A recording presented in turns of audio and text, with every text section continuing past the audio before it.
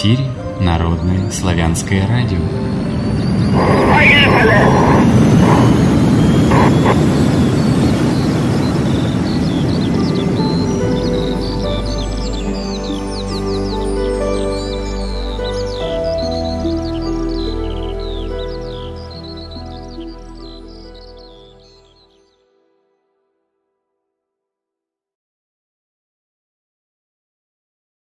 Всем здравия! С вами Народное славянское радио, Алексей Орлов. Сегодня у нас по одному из современных календарей 6 июля 2017 года, четверг, по одному из старинных, пятый день месяца получения даров природы, 7525 лета, среда. Мы начинаем живой эфир, который будет посвящен теме «Сакральные образы Русских. Сейчас, сейчас, сейчас. Сакральные образы, скрытые волшебное слово «скрытые» в русских народных сказках. И автор-сказительница у нас сегодня, прошу любить и жаловать, Мария Карпинская. Здравия, Мария. Здравия. Вот я впервые на этом радио и услышала звуки леса, и сразу мне почему-то вспомнился мой лес, из которого я вышла. И я думаю, что когда я выходила из леса, я вынесла оттуда с собой голос леса. И поэтому не просто я говорю, но говорит голос, сам голос леса. Я его оставила себе и не потеряла, вот находясь здесь. Но прежде чем говорить о скрытых образах, которые э, спрятаны были в сказках, возможно, часть из них были искажены, надо, наверное, пойти в какую-то далекую, далекую историю, ну, заглянуть хотя бы лет на 12 тысяч назад, хотя это недалеко. Мы можем говорить о миллионах лет, да, а потому что миллионы лет еще когда-то тоже что-то было. Ну вот заглянем в ту историю, которая была а, довольно-таки трагической. Мы знаем, что уже откуда-то знаем, да, может быть, из нашей крови. Есть такое понятие знание крови, да, а, когда кровь не испорчена, и когда она сохраняет в себе вот некую чистоту, она сохраняет знание всех наших предков и всех наших родов. И э, есть такие просто знания, ну, внутри меня, вот они откликаются. То, что я помню, может, я так можно говорить? То, что я помню. Можно, можно. Для начала вот надо, чтобы подойти да. к этому, откуда ты помнишь, надо немножко рассказать о себе. Вот я Мария Карпинская, я и Сейчас... дальше о себе, чуть-чуть. Прекрасно, хорошо. Ну, что там о себе? Вышла я из леса, да? Вот. Дальше я училась очень много. Первый институт был технический, я инженер-электромеханик. Потом второй педагогический. Я работала учителем и преподавала 14 предметов разных. То есть от эстетики до промэлектроники. Так вышло в колледже. Потом э, я закончила режиссерский факультет при ВГИКе и работала режиссером театра, который создавала такого народного театра. А потом моя жизнь сделала резкий поворот, и когда началась вот эта перестройка, я пошла путешествовать по миру. И первой моей страной для путешествия и для изучения я пошла за некими знаниями, которые я хотела приобрести. И я пошла путешествовать по Индии от самого ее юга до самого ее севера. Во-первых, я изучила все, так сказать, следы, где там был Иса, то бишь Иисус Христос. Потом я искала, подходила к каждому, ну тогда это было очень, может, смешно, это было давно, и спрашивала, где тут Шамбала находится – я искала вход э, в эту загадочную страну. Но пока я искала этот вход, э, мне удалось пройти по разным домам, и в то время я побывала в доме Елены Николаевны Рерих, спала на ее кровати, сидела за ее зеркалом, трогала за ее манускрипты, вот, э, пыталась понять, что там такое. То есть я была такая дотошная, побывала в Непале, на том месте, где родился Будда, побывала на самом юге, узнала, а, и как-то так нечаянно случайно за два года путешествия получила посвящение или инициации во все возможные религии, какие только можно получить. То есть путешествия ко мне почему-то на улицах порой подходили разные люди и говорили, вот тут вот храм старинного китайского дзен-буддизма, пойдем мы тебя посвятим. Я говорю, хорошо. Потом мне говорили, вот тут вот э, мусульманские мечети, и собрались все эти, как они, имамы, пойдем мы тебя в мусульманство посвятим. Хорошо. Потом э, пойдем мы тебя в кришнаитство, окей. Потом дальше меня там, э, ну, шиваизм тоже. Ну и дальше я уже даже не помню. То есть произошла такая фантастическая вещь, что я получила серьезные инициации от разных серьезных действительно гуру во все возможные религии. Что мне э, эти все инициации, они проходили немножко необычно, ведь я ушла опять в сторону. Посвящение происходит, это не когда мы читаем книги, потому что древние книги были устроены не, опять меня, да, немножечко по-другому. Так как они состояли из образов, то достаточно было человеку посмотреть на определенную книгу, на которой, может быть, являла собой просто белый лист бумаги. Как на этом белом листе э, моментально проявлялись сначала буквы, а потом такие, как голографические изображения. Одна из таких книг есть Чинай.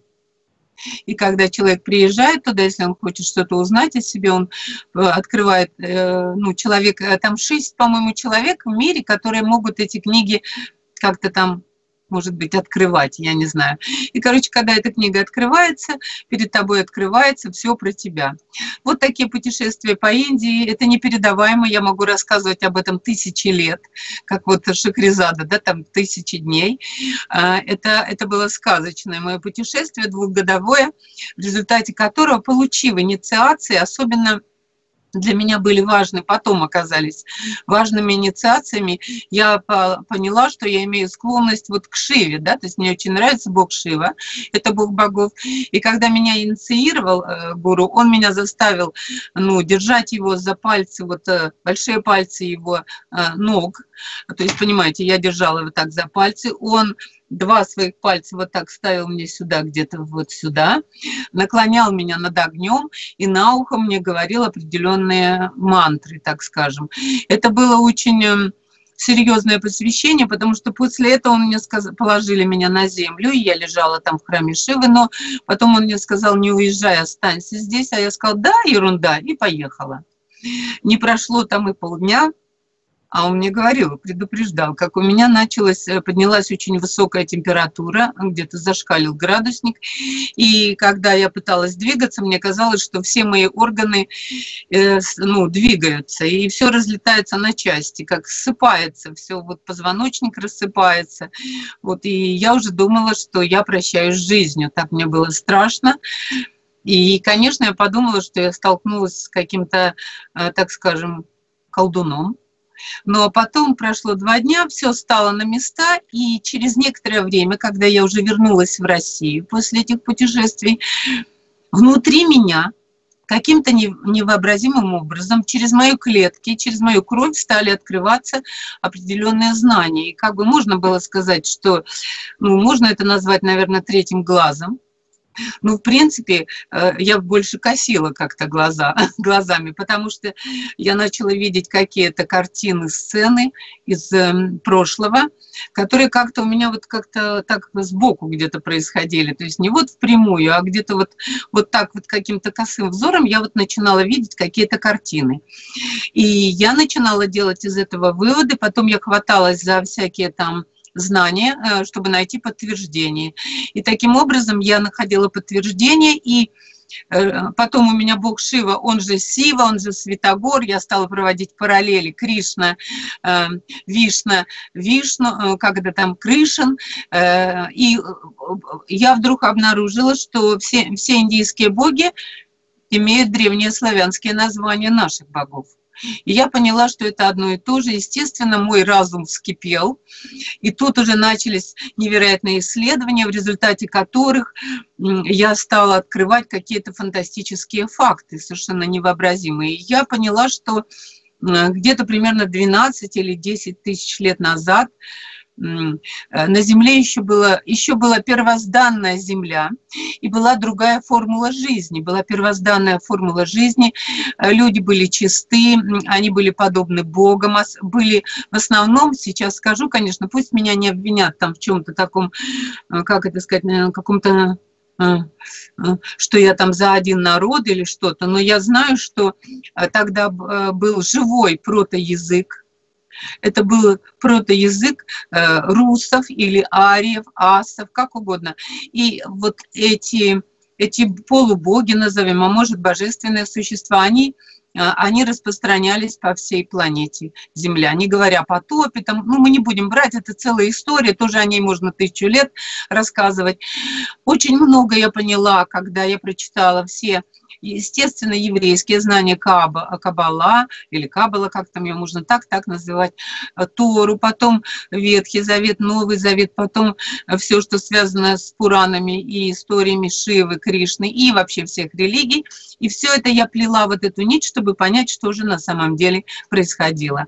И я поняла, что ну, примерно 10, ну, может, 12 тысяч лет назад на Земле была великая битва очередная – и в этой битве, к сожалению, победили ну как это э, можно так сказать, победили не светлые силы, не, не Ари, не, не Асы, а и просто у меня потом мистика, столько мистики, я не могу все это пересказать.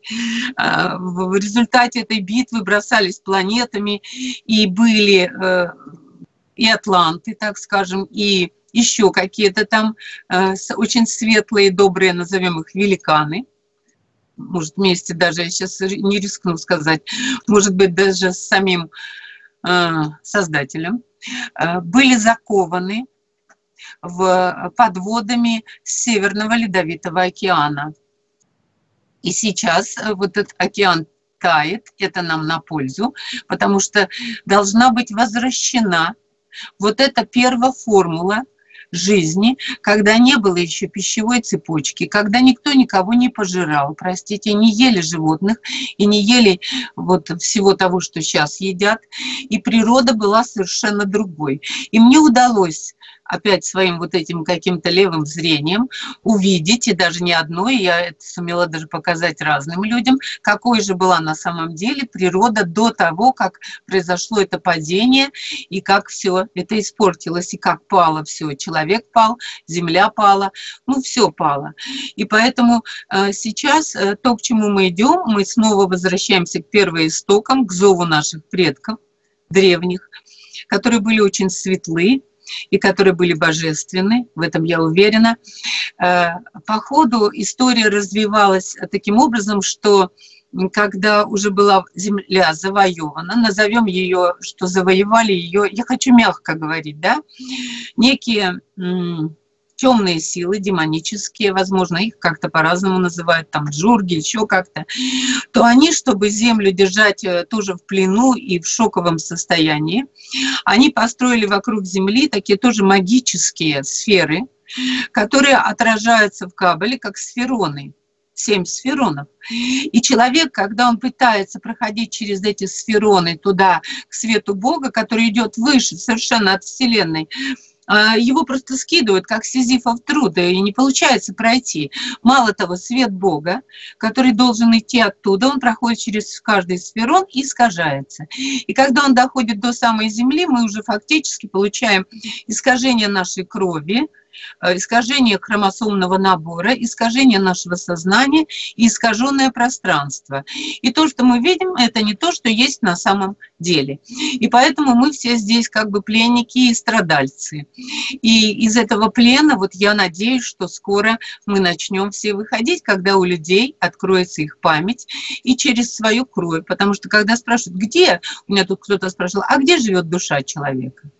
Вот где она живет? И я э, дала ответ, э, который звучит так. Она живет в крови. И когда наша кровь начинает как бы вот бунтовать и проходит через определенные фазы, то именно через кровь идут эти воспоминания. И мы начинаем воспоминать. Если вы не против, я просто, я, у меня столько много информации, что я, я бы вот хотела вам э, прочитать один мой стих в этом вот, э, именно в этом направлении, э, который носит эм, в себе, это не совсем стих, вот когда его слушают и говорят, что-то это с Пушкиным похоже. Нет, это не Пушкин. Вот этот стих, он идет из э, какой-то такой древности, когда уже произошла война, светлым силам или там пришлось идти в схороны – прятаться и придумывать особый язык, сказы, которые, собственно, и стали сказками. И все образы, которые были когда-то, как вот царевна-лягушка, там царевна-лебедь, э, зашифрованы были в этих сказах, которые потом стали называться сказками. В каждой сказке э, образ, который там есть, обязательно есть некое, если правильно читать, заветное словечко, которое является ключиком. А этот ключик как бы открывает портал туда, куда нам нужно, к тем знаниям, которые были, э, ну, постарались стереть, затереть, скрыть.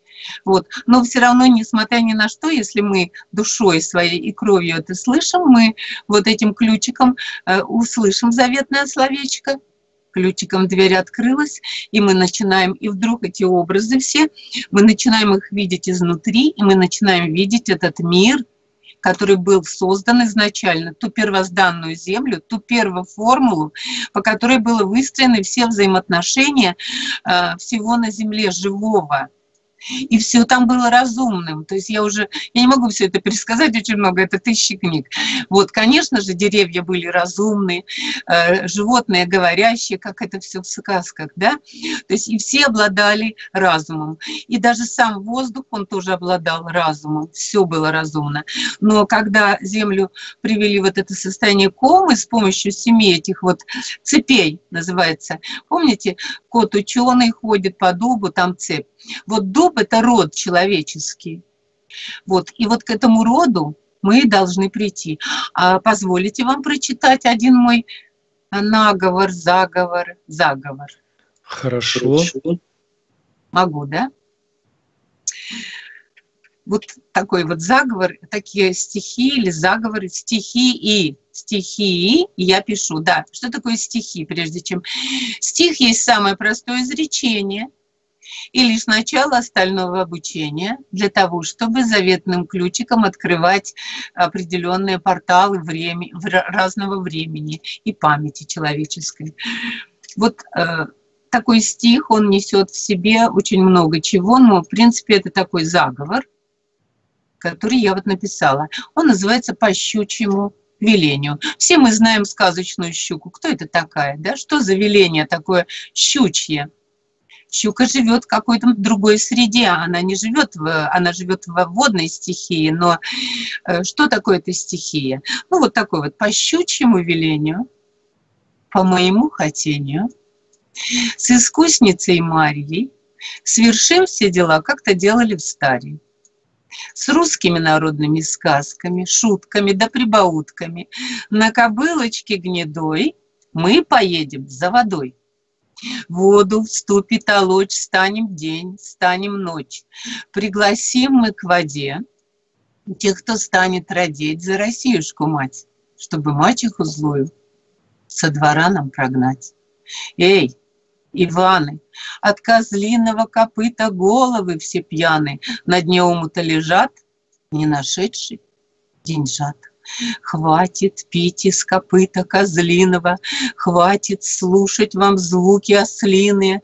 Ты, Аленушка, встань, Сердце чуткое не рань, ты, родная, не плачь, Захлебнется твой палач, подведет его слово. Вон и плаха готова.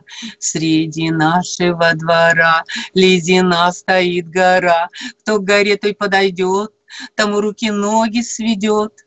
А я от горы прочь пойду, изменю свою судьбу, стану трын траву косить, расплетенную косу носить. Ты коси, коси, моя коса, чтобы открылись все глаза, чтобы память, словно клад, изгнала весь сброд и смрад, чтоб сударушка цвела, ночью зимней не спала, чтобы совесть свою слушала, пищу грязную не кушала, чтоб братишка Иван осознал ложь, обман, а от мороки, чтоб бежал, богатырский дух стяжал. На Калиновом мосту, чтобы видел за версту тщету, ложь и пустоту, а в Смородинке реке бриллианты горят. Молча речи говорят, изречения русские, тропы тайны, узкие. Вон, Трояна, тропа. Не вольна теперь судьба. Наговором русским вновь мы с тобой откроем правь. Мария Искусница, вместе с ведущими, ведущими, так долго искупление ждущими, вас поведет тропами тайными, заговорами не случайными, звуки гласные, да потайные, чтобы открыть все кладовые. Отведу ручьи реки, станут слышать человеки. А все грязные болота, словно сказки про Федот. Он, конечно же, Федот, только и Федот не тот. Коли и Федот не тот, в черный камень попадет. Отведу я боль, тоску, во суху сурбур доску, да во кровь зверину, да в глаза невинные. 77 костей, 77 суставов, страх сведу на удаву, с ума разума сведу, потайную дверь найду. Мне поможет кот Баюн, скроет память рыжий Нун. Кот Баюн заговорил, двери настежь оттворил, сотру сословья, вековую пыль и склею треснувшие мысли. Вот э, в данном заговоре присутствует некая рыжая Нун и кот Баюн. Это уж совсем такой э, рыжий Анун, это очень древний образ. Вот, Алексей, вы, допустим, знаете, кто такая рыжая Анун? Я вижу красивую женщину с рыжеватым оттенком волос. Вот боюсь даже предполагать, а вот ту самую не, не знаю. Не знаю, нет, нет. Это, это не имеет отношения к этому, наверное. Значит, на самом деле рыжий анун, э, слово рыжий – это как огонь, огонь души. И этот огонь – это как такой мировой океан первозданный, в котором зарождалась вот вся вот эта божественная жизнь. Вот. А кот Баюн, ну, от слова баю, баю, баюшки баю, это тот, который мог э, заговаривать, мог э, убирать что-то и рассказывал кот Баюн сказки сказы.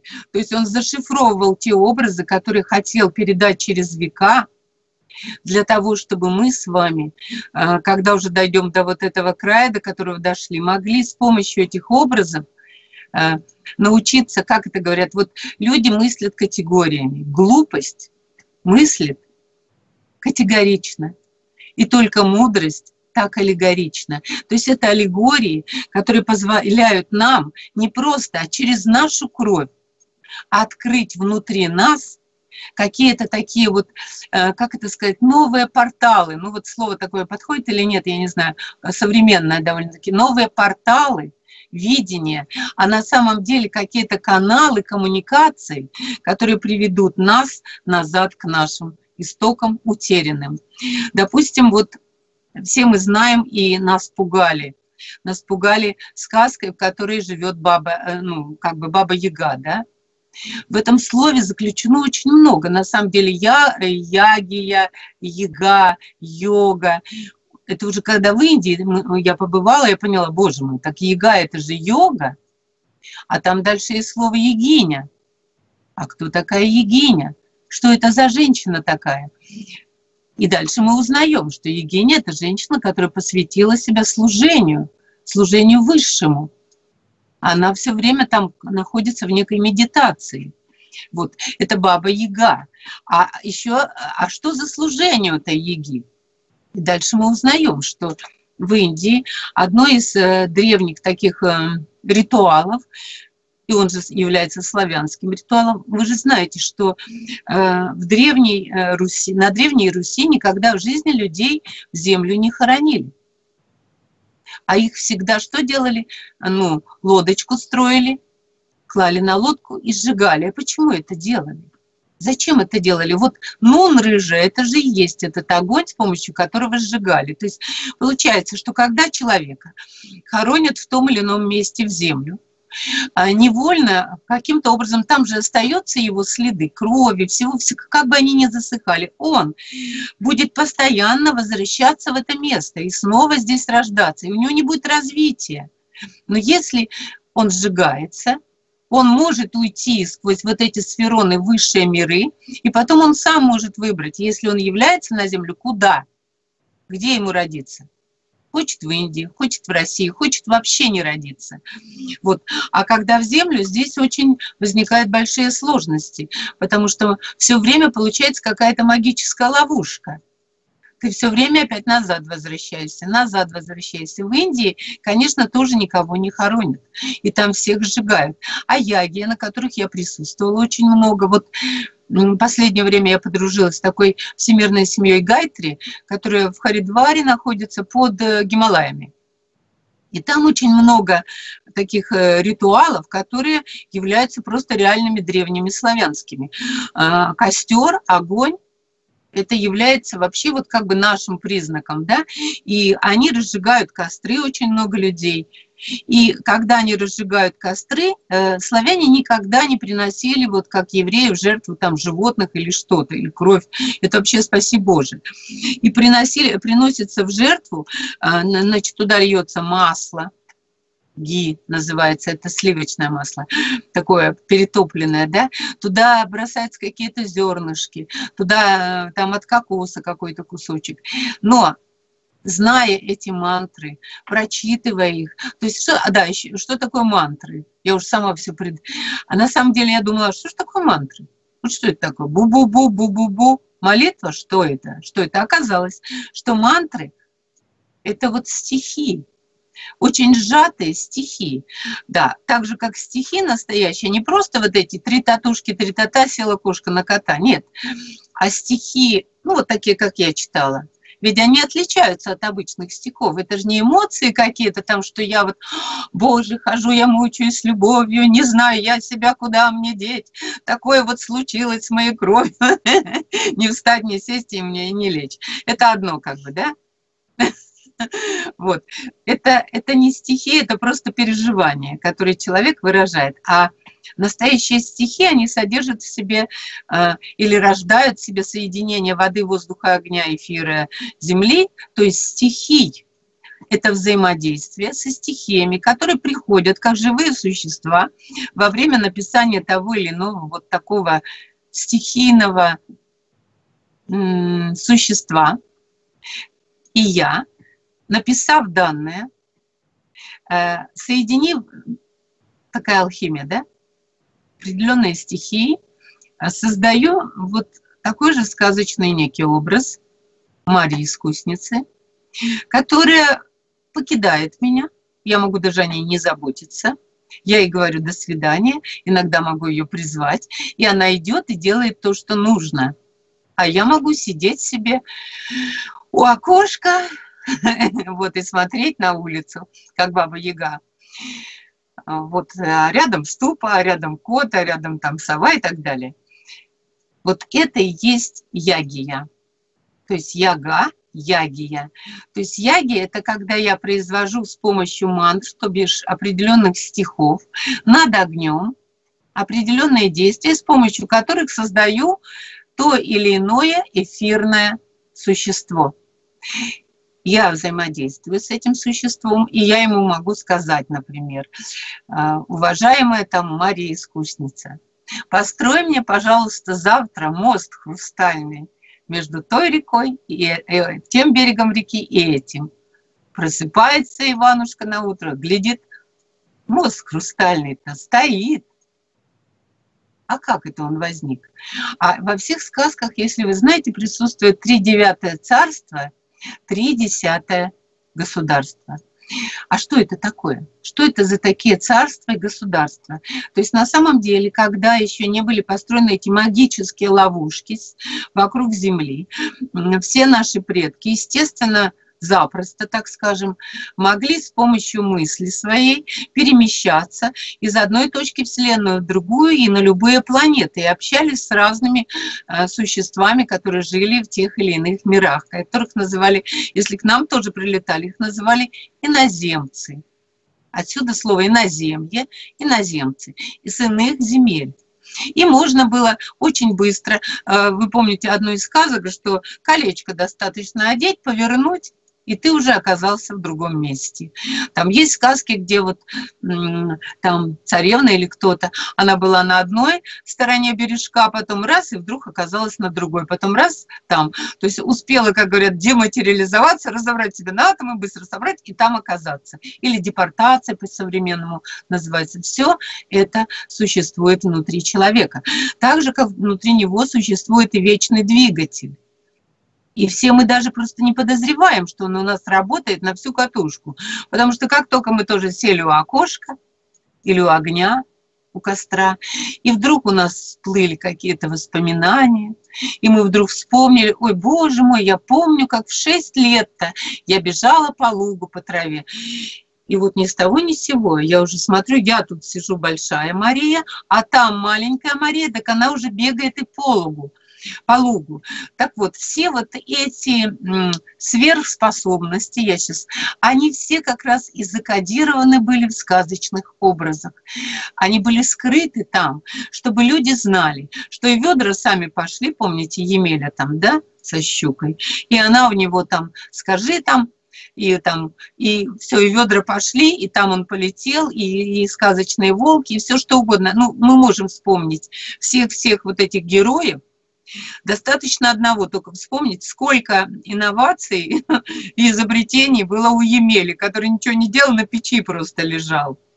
А как это он мог так? Вообще только пошел рыбу там, а обычно третий-то сын, дурак, да, вот Иван дурак, у него-то все как раз и получается. Эти-то все работают, пашут, пашут, там они чего-то делают, а третий там самый маленький обычно лежит на печи, ничего не делает, а у него и ведра сами ходят, и лошади, и жар птицы к нему прилетают сказочные. А что это происходит такое? Как это вообще? Где это? То есть что нам сказки эти хотят сказать через данные сказочные образы? Но здесь же сегодня, когда мы уже знаем квантовую физику, когда мы знаем, какие есть уже инновации, и мы уже читали о них, то уже все эти образы довольно просто расшифровываются. Емеля не просто лежал Иван Дурак на печи они мыслили. То есть а, у них работали вот эти мыслительные процессы, которые работают у меня, когда я тоже сижу вот такое окошко, а я не просто сижу, а я при этом мыслю. А моя мысль улетать может куда угодно. А когда уже человек науч, научается и поним, открывает в себе вот эту высшую мысль, естественно, мысль это не мыслишки, которые там говорят, что мне нужно покушать, одеться, денег заработать. Это вообще к этому отношения не имеет. Это первые два брата делают а третий это не делает ничего. Вот он мыслит, и в результате этого он открывает работу мыслью. И с помощью этой мысли, и плюс э, стихий, и плюс э, мантр, или вот этих стихов, да, соединения, то есть он, он проникает в сущность материи глубоко. И плюс притягивает духовные знания, и таким образом у него достаточно, если очень сильно Емеля очень долго лежит на печи, очень долго, а Илья Муромец 33 года лежал и 3 месяца. И вообще уже дошел до того, что вставать-то не мог. Но при этом у него уже здесь работало. Внизу, может, не работала головка, а здесь-то работала голова светлое, чело века работало, вот это чело. И кальки перекатные подошли, дали водички попить, и встал, и все вспомнила, что такое водичка. Водичка это такая, как сейчас можно сказать, компьютер, да, в который можно записать все что угодно. Почему там наговаривали над водой? Над водой можно сказать воде все что угодно. Вода, вода, унеси мою беда, да? Или водичка, водичка, умой мое личико, чтобы глазки блестели, чтобы щечки горели и так далее. Можно еще какие-то вещи наговорить, как хорошие, так и плохие. Наговорили калики перекатные в воде, сказали, что ей надо сделать. Она вошла в Илья Муромца, тот встал, и все. И у него начались его героические подвиги. То есть вот э, эта сила, которая на самом деле, простите, я не хочу никого опять обижать, в христианстве отвергнута целиком и скрыта. Это сила Матери Земли, а то бишь она называется Мать-богиня, а также она называется энергия творения, воплощения, это Мать-богиня, да, А в индийских ведах я нашла, что ее зовут Парвати, она была женой Шивы, и есть ею, а у нее 300 тысяч имен, и в разных народах 300 тысяч не перечислишь. Это те, что помнят разные имена, но на самом деле это и есть сама природа. Она не только в деревьях заключена, она вообще во, во всем космосе. И с ней-то, а вообще вот сейчас уже говорят, ой, это ноосфера. Хорошо, пусть будет ноосфера. Эфир, эфир. А с ним-то можно взаимодействовать. И вот задача-то человека – оживить сегодня эти сказки, понять, что это за образы, открыть их и через них выйти на взаимодействие с живым эфиром, который очень разумен, даже, я бы сказала, сверхразумен. Вы знаете, вот у меня любимым фильмом был, в 79 году я первый раз посмотрела его, фильм Андрея Тарковского «Сталкер». Это удивительный фильм, в котором рассказывается, ну там как бы придуманная история, да, что на Земле появилась некая зона. На самом деле это зона высоких духовных энергий. И вот в эту зону там сталкер, так называемый проводник, вводит людей разных. Он ведет их к заветной комнате, где может исполниться все их мечты. Вот все то же самое, что к бабе Яге прийти в избушку, что к заветной комнате в зону, кто на что, но все одно и то же.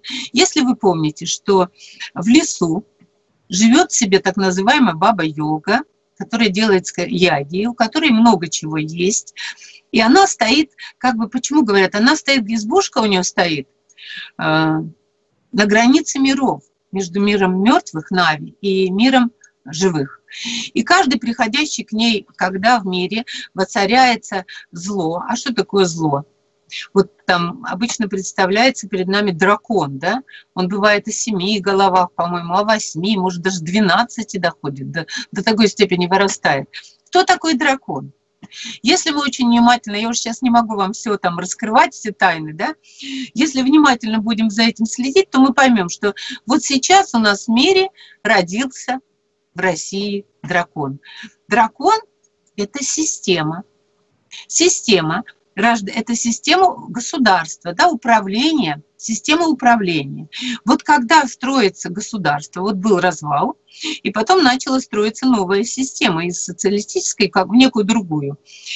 Э, она же строится как словами, пишутся какие-то законы, указы, там что-то такое пишется, какие-то создаются бумаги, магия тоже, да, бумага, от слова магия. Вот создаются магические такие вот всякие, проводятся ритуалы, пишутся, они подписываются, печати ставятся. В результате этого происходит взаимодействие вот этой бумаги и вот этого написанного и сказанного, этих печатей с эфиром. И эфир выделяет на все это свою субстанцию, свою энергию. За счет этой энергии вырастает, так как же, как я говорила, вырастает некий эфирный э, образ, некое существо. Почему говорят, раздраконили, вот драконские законы. И это существо э, описали как систему да, государственного управления, которая является негативной и которая ну, мучает людей. Ее описали в сказках как дракона.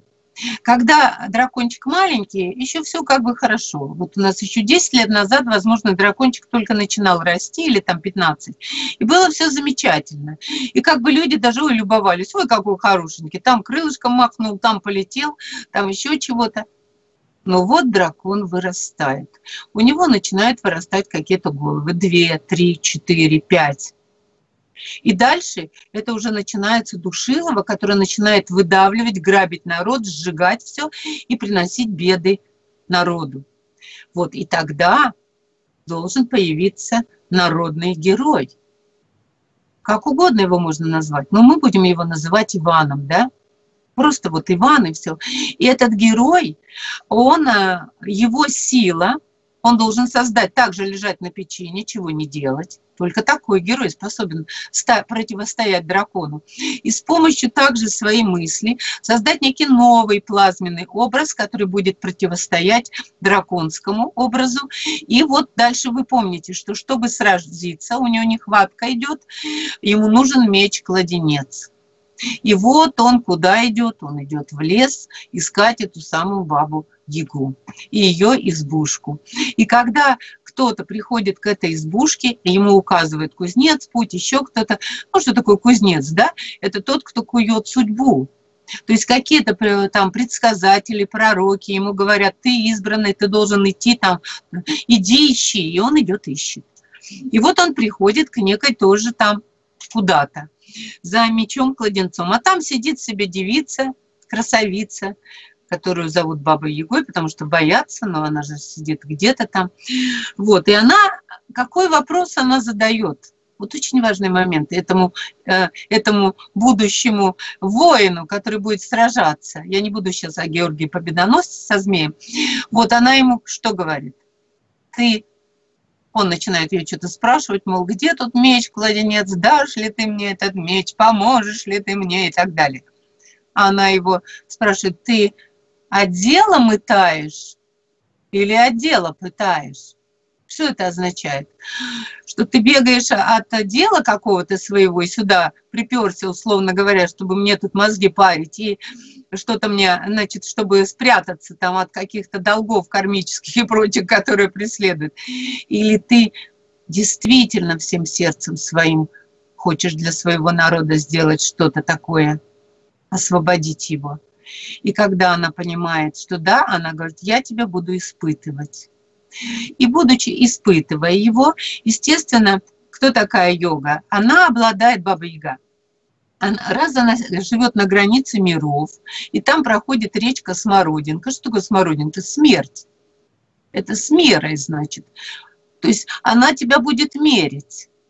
Она будет измерять, насколько ты чист и насколько действительно ты готов э, на подвиг этот серьезный. И она посылает этого человека, то есть она погружает его в мир своих образов. Он должен, по идее, перед ней сидеть. На самом деле, что на самом деле происходит, когда он приходит к ней, тот, кто нужно? Ну, вот так, как мы с вами. Вот сейчас я тебе говорю и говорю и говорю, Алексей, да? Сидит такая баба-яга и говорит.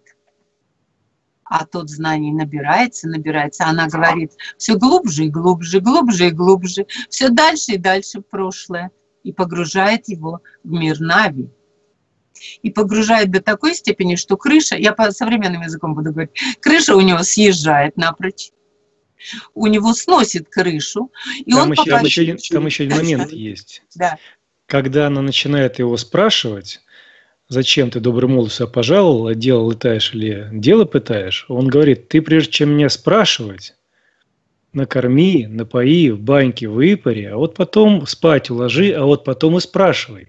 Ну, То есть вот здесь у них здесь еще происходит взаимообмен, она ему, Естественно. А потом он еще, и она его погружает в этот мир через то, что она его почистила, да, да, да, переодела, подготовила к миру Нави, накормила, подготовила к миру и спать уложила. И уже после этого только она его туда отправляет куда она его уложила. Тут, э, но мы закроем эту тему, потому что эта тема как бы такая, она занавесочкой закрыта. Какие отношения завязываются между так называемой бабой Егой и вот этим человеком, будущим, который должен сразиться с целой системой. Это не Навальный, который там пытается поднимать, да, вот эти вот. Вот, это нечто другое. И мы закроем эту тему взаимоотношений, что там между ними происходит. Это, эта тема закрытая, это тайна. И дальше, когда все это происходит, она его погруж... сносит ему крышу, он погружается в этот мир. И туда, через, опять через определенные слова, ключи, он туда проникает. Э, и он находит определенные вещи для себя, которых ему не хватает в прошлом, да, то есть он как бы открывает свое прошлое, но мало того, он возвращается оттуда, когда к ней, он же еще и ей какие-то приносит знания, то есть он не дает ей что-то, не платит деньги, слушай, я тут с тобой жил, тебя любил, у нас вообще тут все хорошо было, вот сейчас вот спасибо тебе там и все такое, да нет же он э, приносит ей тоже определенные знания, и она от этого тоже обогащается. Но, конечно, и у него появляется та сила, это же не просто меч, да? Что такое меч? Вообще вот в языке определенном меч – это слово, язык. То есть меч обоюдоострый. Это когда человек, э, э, вот пришел он к ней, добрый молодец, А вышел оттуда, у него есть и добро, и сила зла. И он может владеть и силой э, слова настолько сильной, что его слово может разрушать и может созидать. То есть он получает все силы, на самом деле, Бога Шивы. Потому что Бог Шива танцевал, а там он все рушилось. Что-то слово сказал, а там землетрясение началось. Он получает эту силу, по достоинству, потому что он ее в нужный момент, в нужное время правильно применит. И дальше он с этой силой, именно с силой слова и силой мысли, он уже, он уже идет к системе, и он уже встречается с самой системой. Я могу сказать, что на сегодняшний день это так уже по моему, так скажем, э, разумению, я встречаюсь периодически с людьми, которые очень глубоко завязаны в системе. И они выполняют те функции, вы знаете, что сегодня очень много таких э, структур, которые уже делают очень разрушительные действия ну, допустим, там судебные приставы, вот эти все какие-то военные, которые там, да, которые, собственно, вот разгоняют что-то, кого-то хватают, э, избивают. Это же нужно не иметь уже сердца, потому что если ты отец, разве ты возьмешь ребенка, ударишь? Нет. Но ты уже... А почему дракон формируется? Он, каждый человек становится как бы частью этого дракона. Кто-то лапкой, кто-то кто, -то, коготком, кто-то чем-то. И когда система уже полностью сформирована, вот перед вами дракон.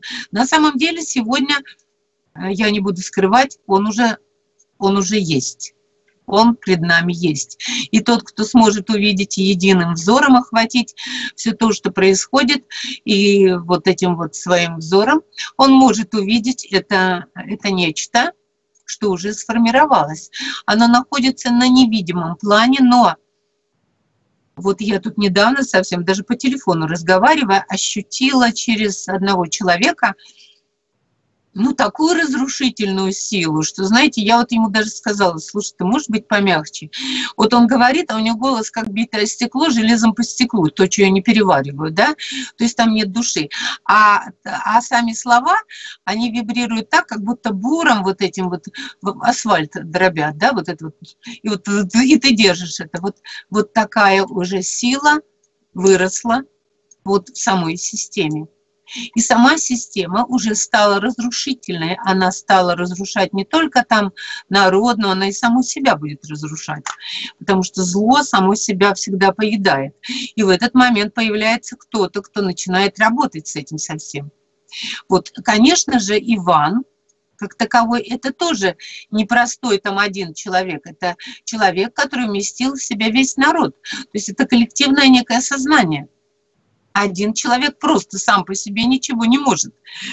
А чтобы появилось коллективное сознание народа, нужно, чтобы народ на какой-то одной мысли был уже объединен и не подозревал, что кто-то враг, тут кто-то еще не... Вот сегодня народ еще не объединен наш. То есть и тогда дракон говорит, там, да не родился еще такой Иван, который может меня победить. Не родился. Но он рождается не как мальчик физически, это все придумки, глупости. Он рождается как некое тоже невидимое существо, которое объединяется, тоже в коллективное некое, вот можно сказать, силы тьмы замыкаются, как электрическая сеть, да, и уже все вот работает. И силы света также должны объединиться. И когда они объединятся, только тогда появится вот этот вот герой.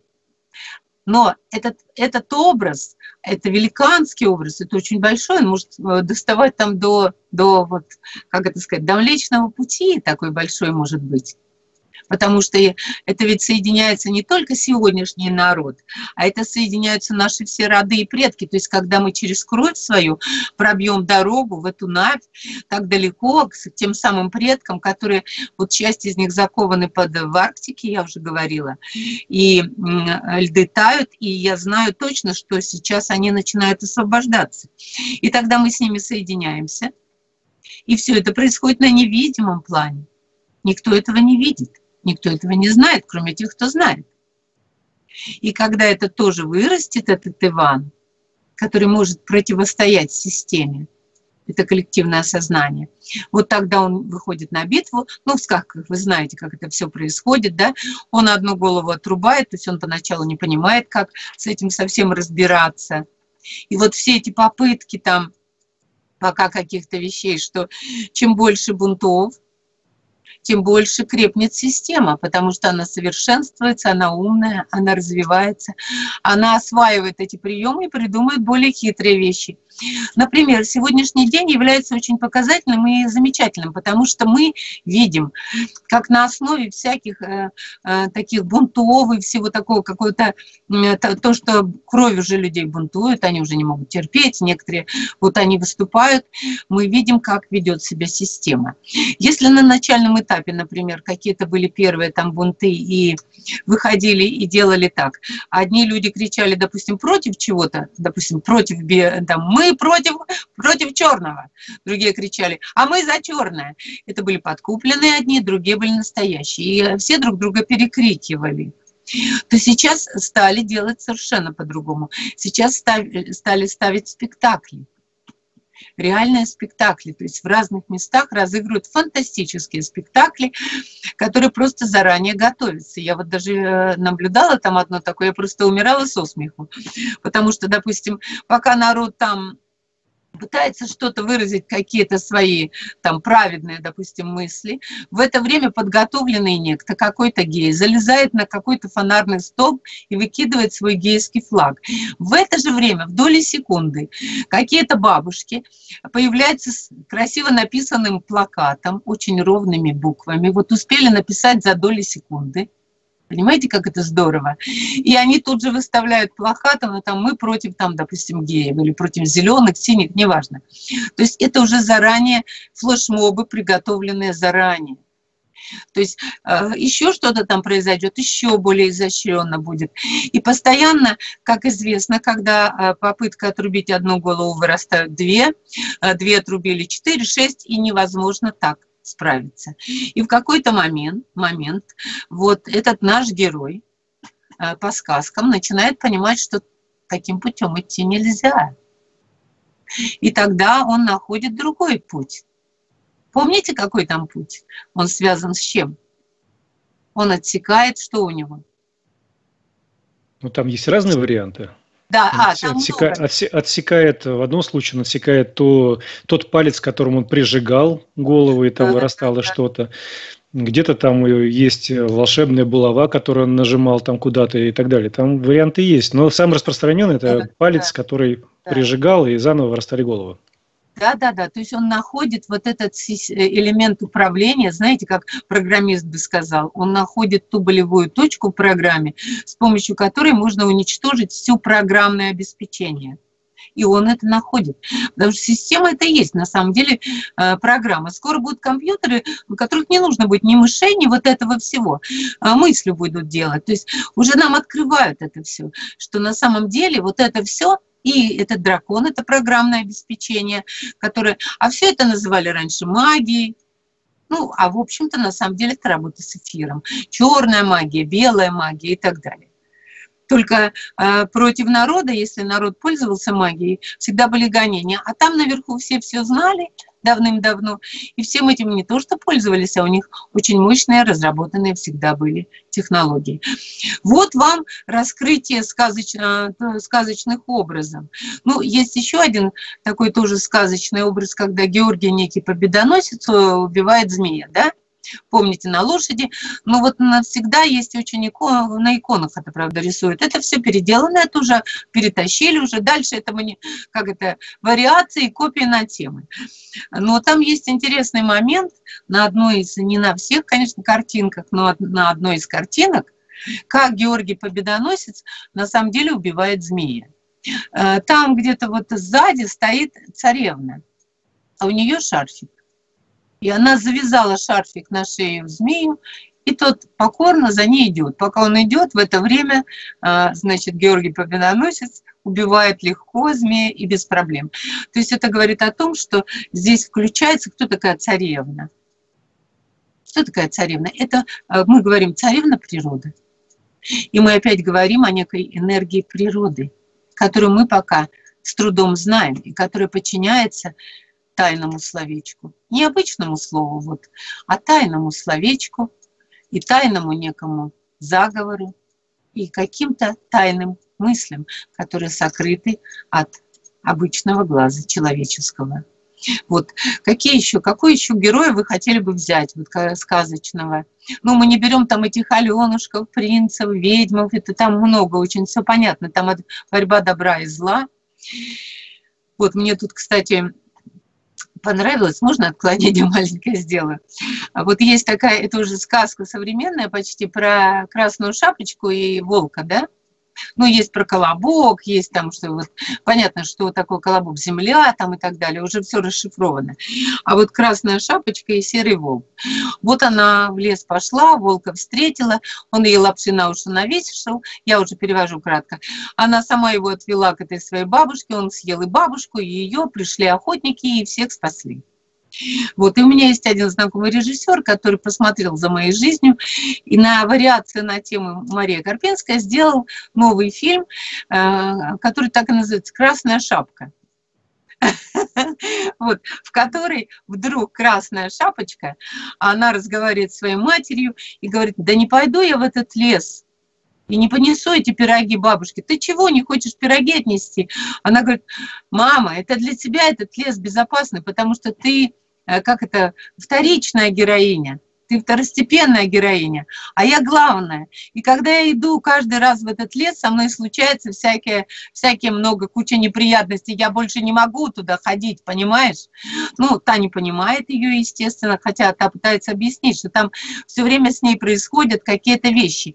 И все-таки она э, обижается на мать и уходит в лес. А там она встречает волка опять, и волк уже говорит, ну что ты опять пришла? Ну что ты ты меня уже замучила. Она ему говорит, замолчи вообще. Видишь, нас какие-то авторы опять изменили сюжет, и мы с тобой опять попали в дурацкую ситуацию. Вот этих авторов, и среди них не все хорошие. Кто попало, что попало, пишет. И дальше они там, значит, вместе идут уже, и вдруг появляется летающая тарелка, и, значит, волк, э, по-моему, красная шапочка говорит, по-моему, это уже Уэллс. А тот говорит, да нет, это, это кто-то там еще, там кто-то из фантастов. Это они уже придумали эти тарелки. Вот надоели-то. Дальше тарелка спускается и требует красную шапочку и волка для экспериментов пройти в тарелку. На что красная шапочка отвечает, что я иду к бабушке и несу пирожок. И вашим требованиям подчиняться не буду. Она как бы пытается изменить сюжет своей судьбы. Естественно, те пытаются захватить, а эти убегают, и вдруг у них оказывается на полянке самолет, они садятся в самолет, э, поднимаются высоко над тарелкой, она достает гаечный ключ и кидает в тарелку, разбивает ее, эти улетают несчастные, а волк, э, значит, садятся на поляну перед домом бабушки, и волк счастливо кричит, мы свободны, слышишь, мы теперь свободны, мы птицы. Она говорит, да, птицы. Это все Ричард Бах, Чайка, Джонатан Ливинстон. Это он. Почему я знала, что я приду на эту полянку, и там будет стоять этот самолет? Потому что все это придумал автор. Так вот, для чего это я говорю? Есть такие авторы-сказители, и мы это уже сегодня знаем, которые, когда пишут что-то, а потом уже ученые изобретают на самом деле. Если мы возьмем Жюль Верна «20 тысяч лье под водой», то и сказки многие туда же, то на самом деле потом ученые вдруг открывают то, что написали сказители. Но если это сказитель Кот Байон, то это хорошо. Но если этим сказителем оказывается какой-нибудь автор, который написал про Звездные войны или еще про что-то, то это очень плохо и про тарелки. Потому что он написал, люди прочитали, поверили, и это появилось. Вот как устроен на самом деле наш мир.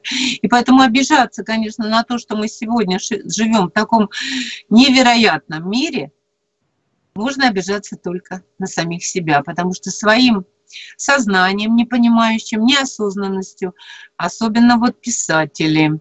Вот к писателям особое требование, да, и поэты, в кавычках, которые понаписали всякой э, ерунды, их больное воображение народило всякой, всякой всячины, и теперь это уже начинает появляться материализовываться в нашем мире.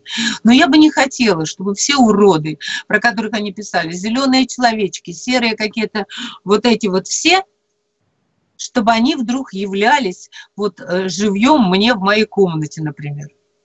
И потому я имею ту силу, с помощью которой я все это могу прихлопнуть просто. Поэтому режиссер, посмотрев на меня, испугавшись, и сделал вот такой фильм, показал меня как красную шапочку, которая управляет не только волками, но она управляет и летающими тарелками. И то, что нужно, у нее появляется в нужный момент. Итак, я хочу подвести итог. Опять раз уж славянское радио. И мы говорим о славянах. А, для, э, на тех людях, в которых течет древняя кровь, память древней крови, того первозданного мира, мира Творца, Создателя, который мы когда-то там были, и все мы любили, то вот этот мир мы сегодня можем сами вернуть снова. И для этого не надо выходить, простите, на площадь и бунтовать, и еще что-то глупости всякие делать, проявляться во внешнем мире – может быть, для этого нужно сидеть на печи, но печи нет сейчас. Вот. И может быть в одном направлении, в понимании одном, начинать думать, думаю. У меня есть мысль, и я ее думаю. И эта мысль приведет нас к тому состоянию, в котором мы когда-то были. И когда наши тела, физические тела обладали многими возможностями. Они могли жить и под водой, мы могли и летать по воздуху, и превращаться в комара, опять же, сказка о царе Салтане, помните, да? Видон. Раз превратился то в комара, то еще в кого. Да еще ужалил там кого-то. То есть мы обладали невероятными возможностями, потому что нам природа потворствовала, и она была вместе с нами заодно. А когда нас отсоединили от природы, на протяжении вот этих всех 12 тысяч э, веков, уничтож... тысячелетий, уничтожали нашу память, стирали все, что можно только. Убивали, стирали, убивали, стирали, подсовывали какие-то иноземья, подсовывала нам какие-то тарелки с зелеными человечками. Сейчас мы вас будем исследовать. Ух, как я на это злюсь. Вот. То, конечно же, многое поменялось. Но мы можем всегда вернуть это, потому что память крови остается.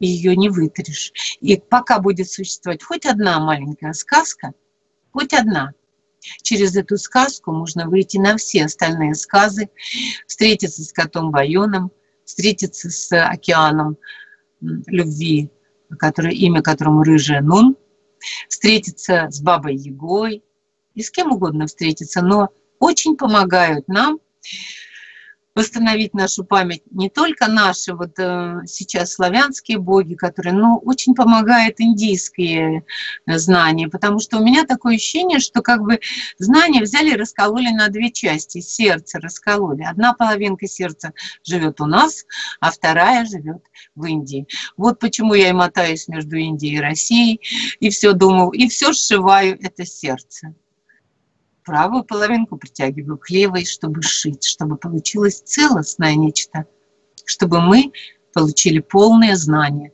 о добре и зле, и о том, как эти силы действуют, и что они, как они манипулируют. Вот если о зле говорить, который совершенствуется, то сегодня манипуляции эти достигли ну, максимума.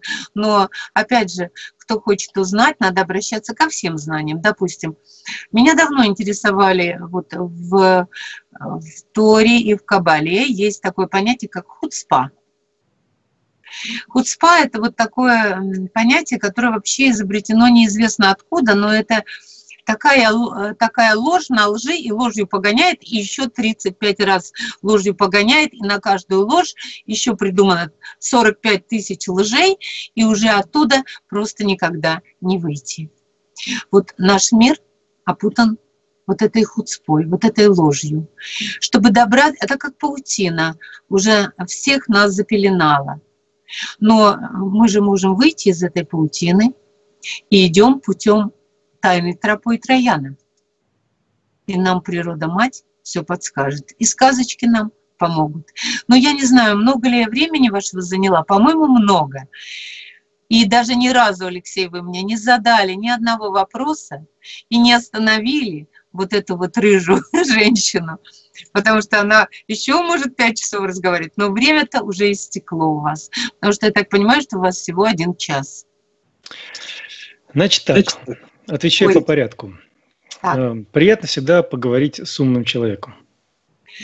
Вот я Спасибо. таким образом общаюсь. Спасибо. Я слушаю. Это первое. Во-вторых, время наше не стекло. До следующей пятницы я совершенно спокоен, совершенно свободен. И во-вторых, у нас не час, а у нас больше времени. И мы а. можем говорить три часа. Но поскольку первый час уже прошел и правильно да. отметила, Заметно, то я, да, то я предлагаю сделать музыкальную паузу небольшую. Так. И чтобы у наших слушателей и зрителей Народного славянского радио и канала YouTube немножечко мозги на место стали, уже вопросы в чате появились и из YouTube, и из нашего... Быстро, хотя крыши уже нет, все, снесли. Да, нет. ну, в общем, чуть-чуть на место. Да. Вот, и где-то через 4 с небольшой минуткой мы вернемся назад и послушаем э, песню, просто по сказке говорим, э, «Добрые сказки детства» в исполнении, мало сейчас кто знает такого исполнителя, и композитора прекрасного Евгения Мартынова. Угу. С удовольствием.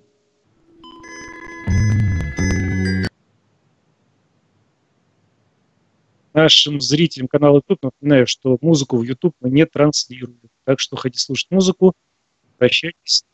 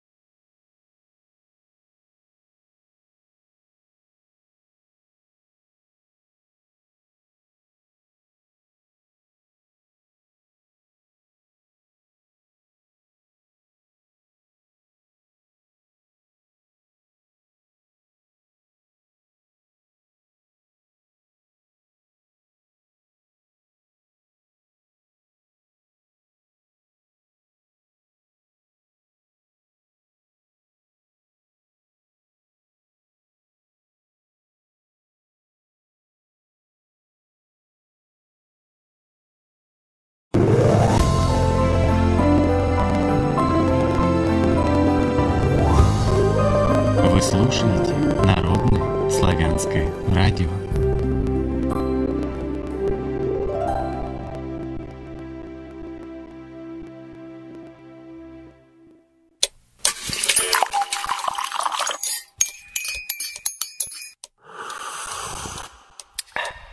Продолжаем разговор.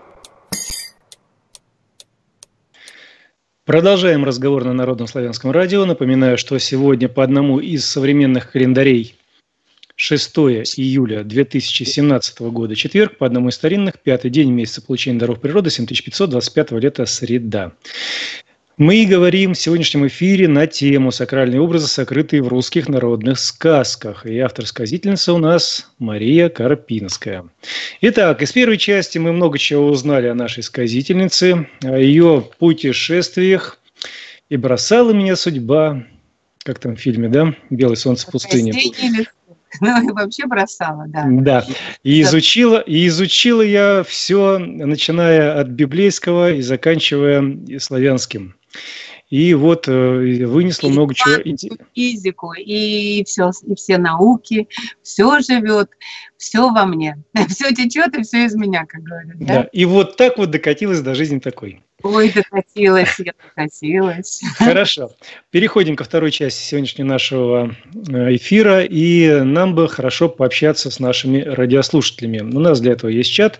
И уже в чате вопросы появились. Первый вопрос появился аж в 8 часов 4 минуты. Не успел еще эфир разгореться. Вот, а уже вопрос появился. Кабальера, кабальера. Прям ты хочется ну вот, значит, он написал из Ютуба следующее. Что скрыто в сказке «Финист. Ясный сокол»? Вот что ты думаешь по этой сказке и что ты думаешь там у нас скрыто? Вообще разбирала ты ее, не разбирала? Думала, не, не думала? Ох, я ее когда-то давно разбирала.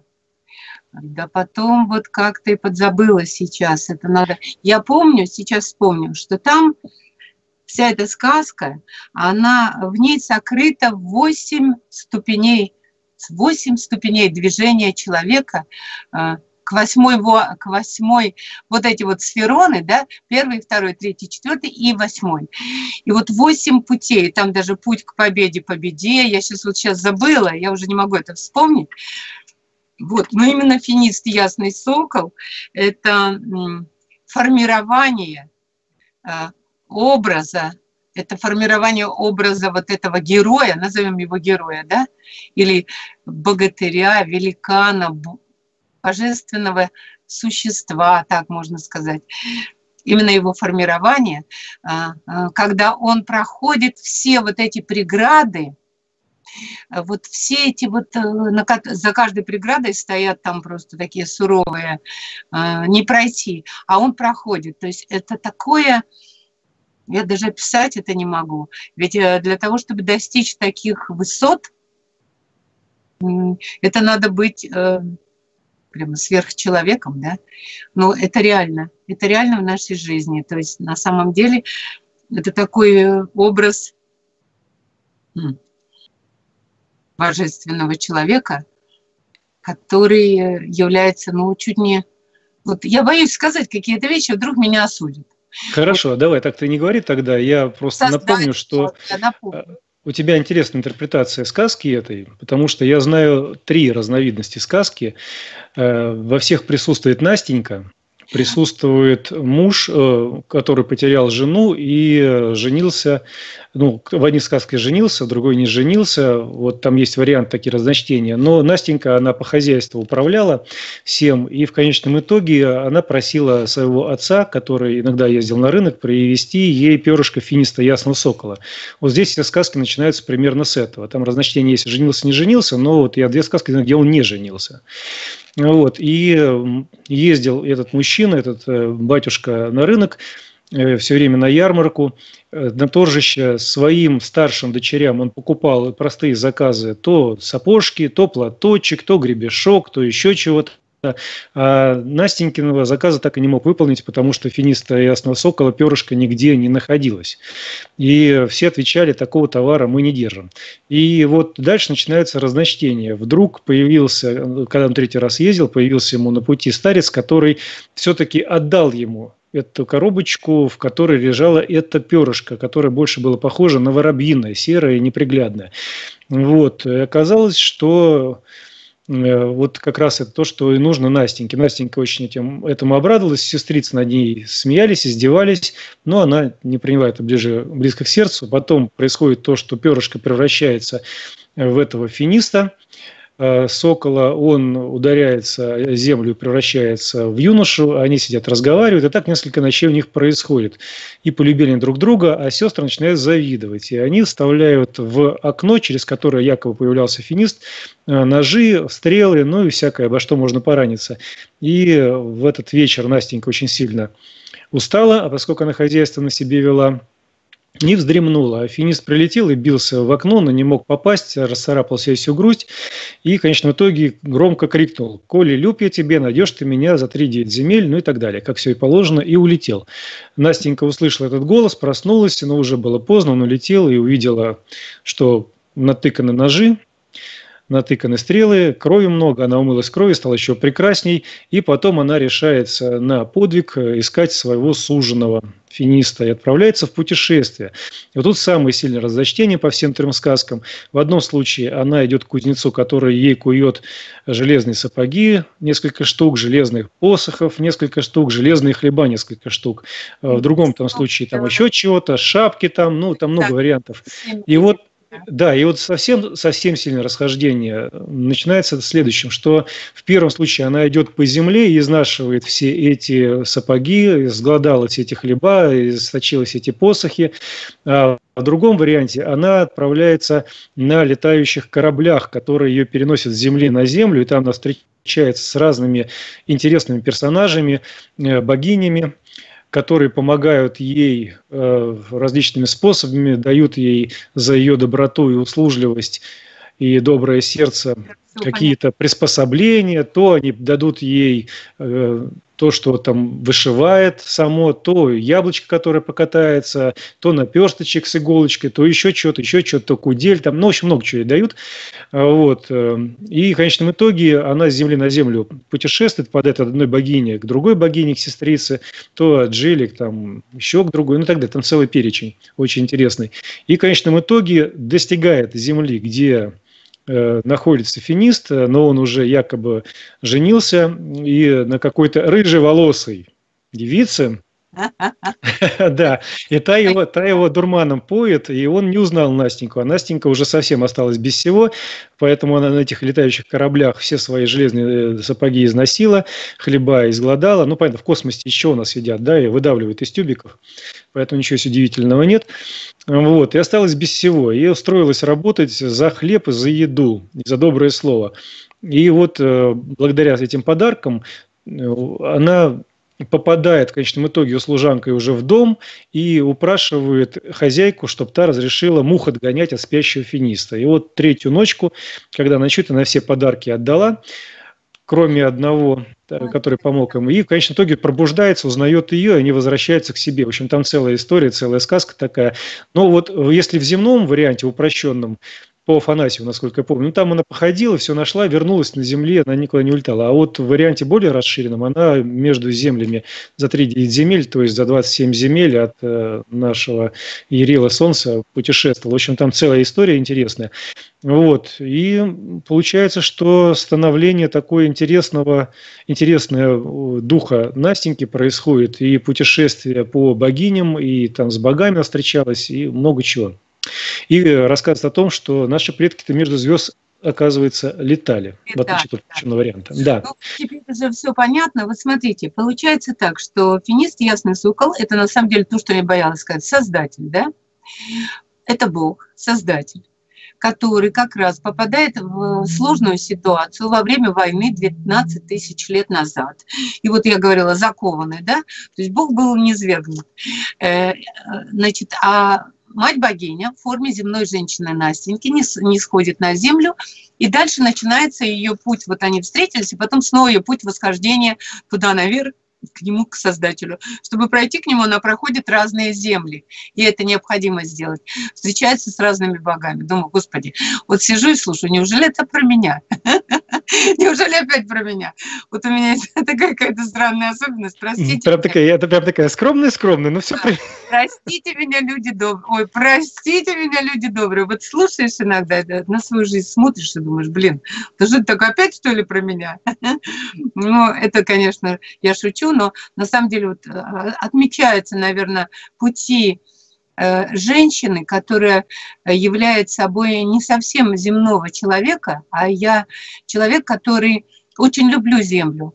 Но внутри меня все время жила с детства тяга к небесам, всегда. И в 6 лет, э, сейчас прямо признаюсь, ну пусть кто-то осудит опять, в 6 лет, когда меня спросили там, будешь ли ты, девочка, замуж выходить, я говорила, нет, не буду. Почему? А потому что я буду замужем только за Богом, сказала я в 6 лет. Вот и с той поры у меня вот, вот это вот засело внутри этой головы. И я все, вот на, почему я искала, моталась по земле, искала, а все, не то, что семь, все семь посохов истерла, но я, правда, по планете Земля моталась, где только можно. И Израиль весь исходила пешком, и Индию все обошла. И все это в поисках чего-то, то есть вечно чего-то искала.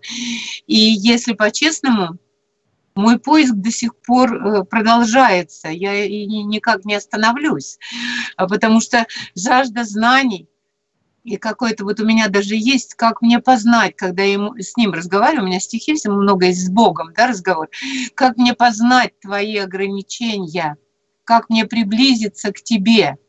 То есть у меня вообще, да, большая часть моих стихов, это еще такие либо скандалы с Богом, либо разговоры с ним. То есть, и уж прям с ним прям, прям живешь, как будто под одной крышей, как муж с женой. Скандалы, любовь, разборки. Шесть лет я его объявила войну.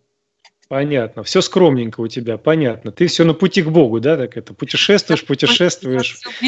А он тебе говорит, слушай, ты в себя-то загляни, внутри я тебя нахожусь. Не говорил он тебе такое, нет? Нет, ну знаешь ли, дело в том, что это внутри и снаружи, это как бы одно и то же продолжение. Мое внутреннее ведет мое внешнее, меня вовне. Потому что я вдруг внутри то, что вижу, мне нужно найти подтверждение, а где это на самом деле находится на земле. И тогда я начинаю, беру посохи и вперед.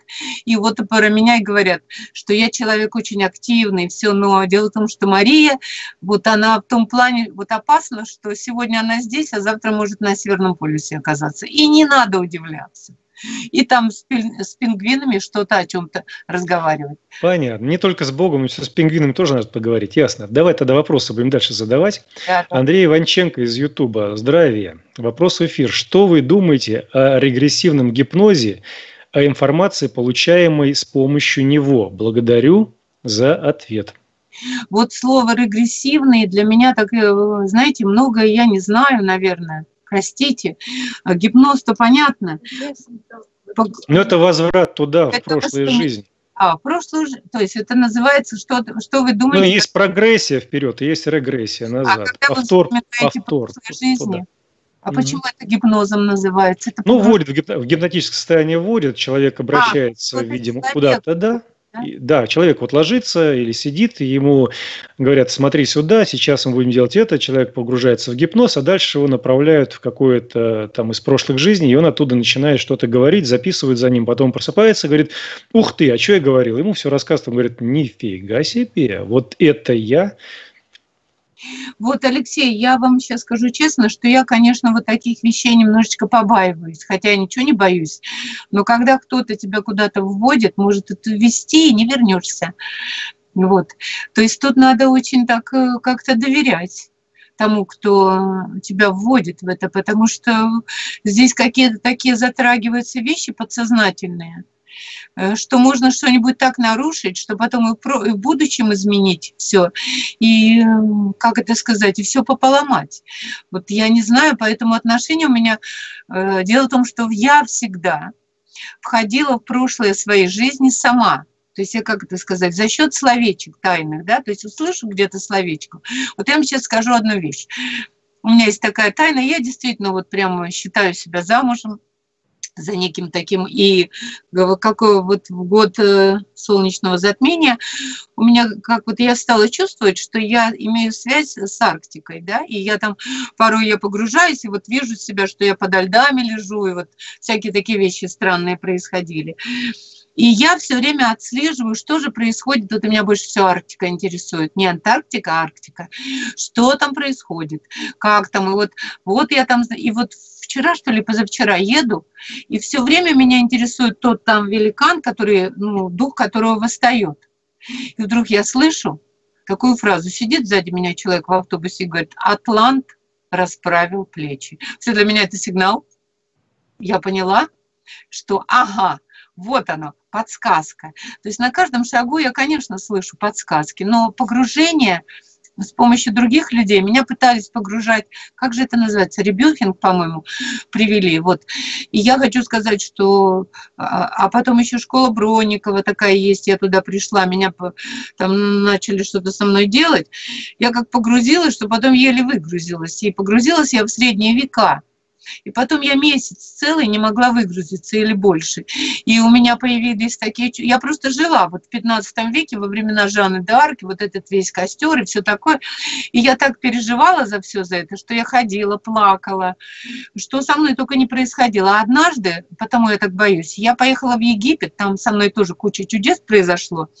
И один человек просто подошел ко мне и говорит, можно я вам сделаю подарок? То есть очень странные вещи. И я почему-то не, не обратила внимания, он мне подарил серебряную цепочку, на ней была буква А какая-то, такая вот наша вроде как. И, я, и он меня ее сам зацепил. Приехала я в Россию, а у меня начались такие явления. Вот я куда-то погрузилась вообще в такие времена, вот эти египетские. Если вам э, рассказывать про это, тоже не хватит тысячу ночей и дней. Вот. И слезы мои вот лились до бесконечности. Я плакала, плакала, все плакала. И думаю, да что же это такое? И у меня было ощущение, что это не я, моя душа куда-то улетела, и я ее назад никак не могу вернуть. Сколько ни кричи, Мария, возвращайся назад, она там застряла. Вот, и пришел один, как ни странно, вот бывает даже такое, пришел один вроде бы священник какой-то такой, ну, сотни в священники, пришел и вдруг начал петь какую-то про какую-то песню народную. И вот пока я, вот эта песня, еще тут у меня был вот мой администратор Саша, пока эта песня звучала, вдруг мои слезы стали высыхать, и вдруг я вот так автоматически раз, и этот вот штучку сняла с себя. И вот раз как будто, и все, я здесь. И я вернулась, и перестала плакать. Вот. И я потом поняла, что вот эти все люди, которые погружают в гипноз, ну, маги, назовем их, да, они могут тебя использовать, извините, просто погрузить, куда-то за, отобрать твою энергию души. У каждого человека его энергия души находится не только здесь, она ведь находится во всех его веках, временах и народах. И это огромный источник энергии, и все это как банк, да? у меня в банке лежит много денег, допустим, там миллиарды, у меня в банке лежит много энергии души. И вдруг появляется какой-нибудь такой маг-шмак, который говорит, давай-ка я тебя погружу в твои прошлые времена. И пока я там погружалась, он у меня из этого банка мою энергию стырил. Такое же тоже может быть. Вот, поэтому я очень очень аккуратно к этому отношусь. Очень осторожно, да, понятно. Безумно, более того, очень надо осторожно и не верить, потому что вас могут с помощью этого гипноза погрузить совсем не в ваши прошлые жизни, а втянуть вообще куда-нибудь, вот как меня в этот Египет втянуло. Вы не представляете, чего я там навидалась. Просто это, это вот непередаваемо. То есть я, я больше вот теперь в Египет я в жизни не поеду. Вот. Я могу сказать, что вот у меня даже такое было, что я э, еще только сейчас начали писать. Я поняла, я оказалась э, в Египте под пирамидами, а там огромные какие-то пространства и клетки. И в этих клетках сидят люди. И я оказалась в этой клетке. И с этих людей на них делали эксперименты, их скрещивали с животными, еще что-то делали, что-то страшное. Горели костры. Люди жили в какой-то темноте без солнца. Вот это же все было, я сейчас не могу понять, это реальность или мне приснилось, но это была реальность. И, и я знала, что с меня хотят содрать шкуру. ой, кожу, извиняюсь, мою кожу хотели с меня зачем-то взять, чтобы с нее что-то сделать. И я помню, что я это осознала, и я там пробиралась какими-то ходами, и я нашла там какую-то девочку, которую за шкирку взяла, которая меня, кстати, туда и привела, и сказала, ты знаешь, как открываются ворота, выпусти меня. И когда я уже ну, нашла эту э, возможность выйти из этих ворот, а сейчас уже увидели, что под пирамидами это есть, а это было много лет назад. Появилась такая тетя, вот с такими черными волосами, какими-то такими трын-тын-тын, вот такими. И она сказала, ну ладно, если ты нашла выход, ладно, типа и отпустила меня. И когда вот так открылись ворота, метров шесть высоты или восемь, и я вышла и оказалась в какой-то пустыне. А отразилось это тем, что у меня на коже появились какие-то непонятные язвы, и черт его знает что. И я к врачам там, а мне говорят, а мы не знаем, что это такое. Мы не знаем, что это такое. А когда я выбралась из-под этих вот пирамид, язвы сами прошли. То есть это так опасно, что я не могу вам передать. Я могу только одно сказать. Если вы хотите узнать о своих прошлых жизнях, читайте разные книги, вот, которые связаны именно с древними славянскими знаниями, и больше обращайтесь к природе матери. Вот даже дотронувшись до какого-то дерева, почувствовав какой-то толчок от него, попробовав, закрыв глаза, обращаясь к матери природе со всей своей любовью, и, допустим, если у вас есть какой-то вопрос, она вам поможет открыть это. И вы, она откроет вам двери, и вы войдете в свою жизнь, один или одна, без всяких вот э, поводырей, которые могут быть очень э, я их боюсь.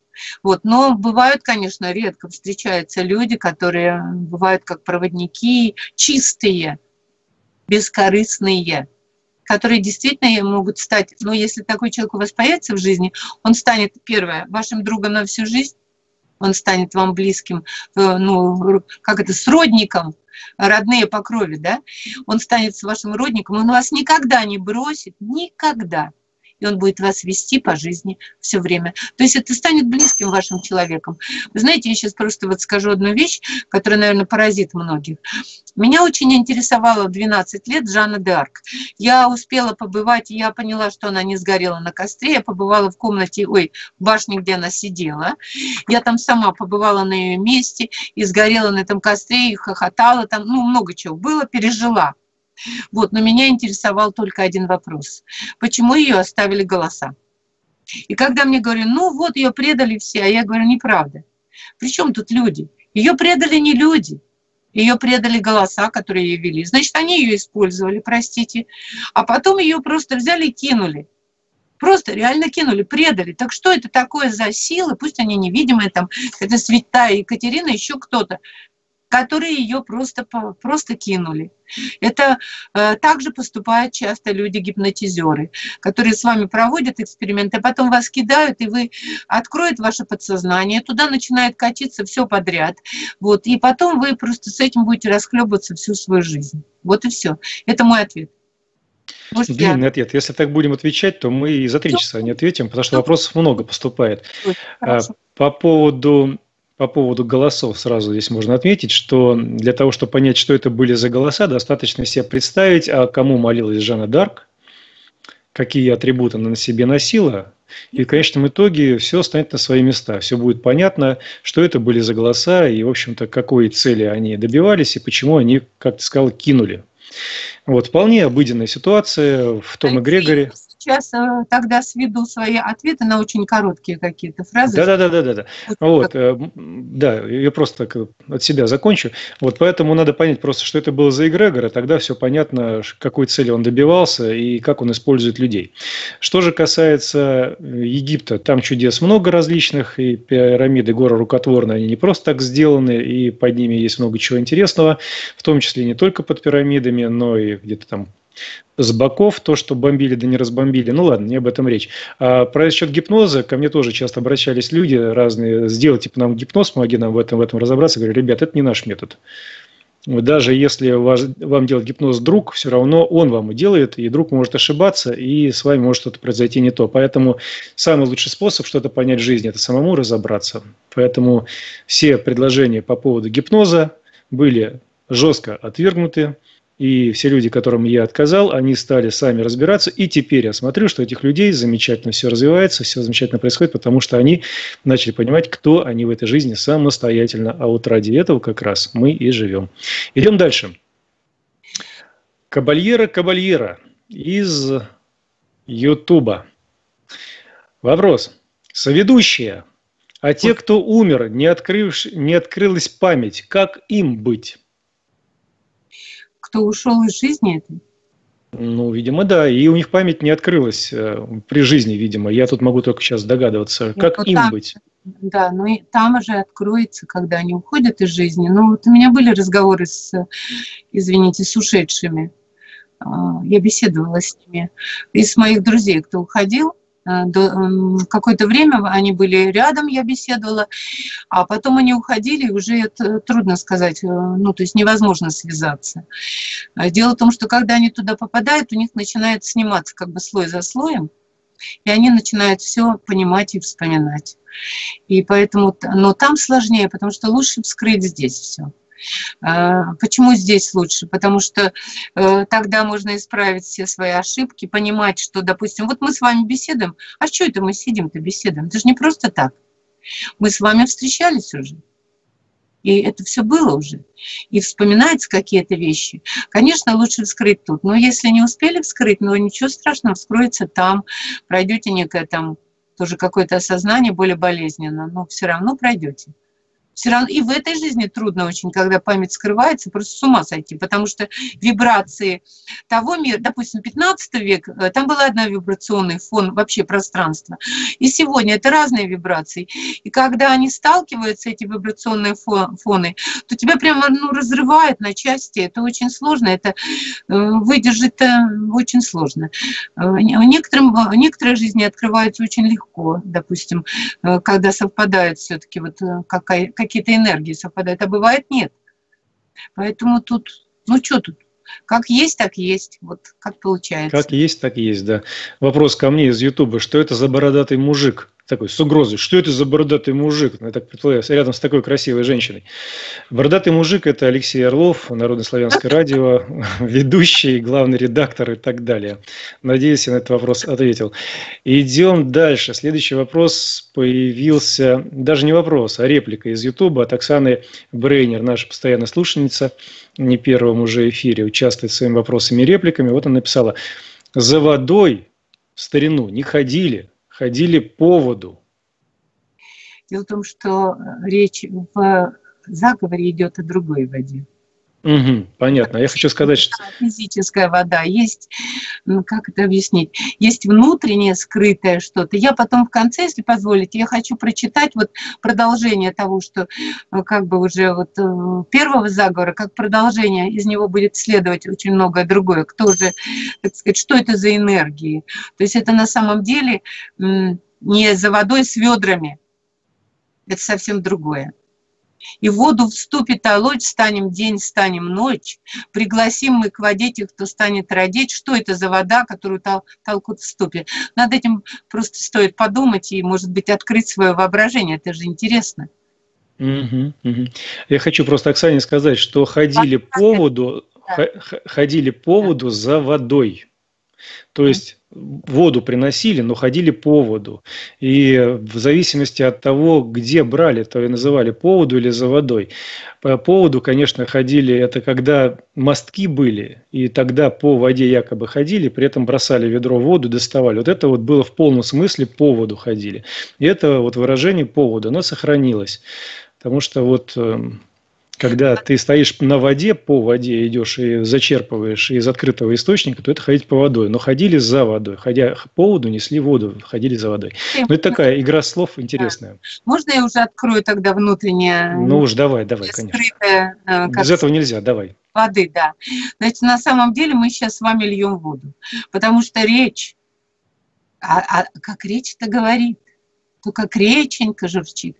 То есть, на самом деле, наша речь русская речь. Она вообще такая единственная. Это и есть вода. И вот в воду вступит Алоч. Это вот мы сейчас с вами этим и занимаемся. Ну, вот да, и, да, если еще подумать, что вода и веда это очень похоже, то в этом случае вода, она очень часто соединялась с веданием, с знанием, поэтому с водой часто и жизнь, как бы так ассоциировали поток воды, поток реки, и речь, опять же, здесь, ведаешь, значит, речешь, ну и так далее. Здесь с водой много связано. И человек состоит, в общем-то, по большому счету, из воды. И вот тут вот в Чекалдышке много водички. Так что без воды ни туды, ни сюды. Да, ни туды, ни сюды, но вода еще и компьютер некий такой, да, живой компьютер, который в, в нас... Почему у нас так много воды? Это же компьютер внутри нас. Ну, я сейчас современным языком говорю, который все пишет. Это как хроники Акаши. Все записывает, все помнит. А когда мы язык, рот открываем, а на самом деле не рот, а род, род, и раньше-то, сейчас прямо вообще скажу катастрофические вещи, простите, что детей это раньше рождали по-другому. А, сели, плазменную шар сделали, и часто он выходил, даже у женщины вот здесь мог зарождаться, здесь, а не там, где отхожее место. И он выходил через рот, рот, как рот был. Вот, ну, многое изменилось. И слово, это тоже как бы мы речем из рода. Э, вот отсюда вода. Мы льем с вами воду на нашу мельницу чтобы Хра... да. молола, молола муку. Хорошо, когда на нашу, а то часто бывает словами не туда льют. Ну ладно, Михаил, вопрос эфир от Михаила из Москвы. Сказителем ну, то есть тобой, было озвучено, что Иисус в определенное время путешествовал по Индии. Очень интересно, по каким городам Индии происходило путешествие, какова была цель их и на каком языке он общался. Хочется узнать, как к этому к этому, так написано, местные жители Индии относятся, видимо, как к этому. Местные жители относятся сейчас. Благодарю.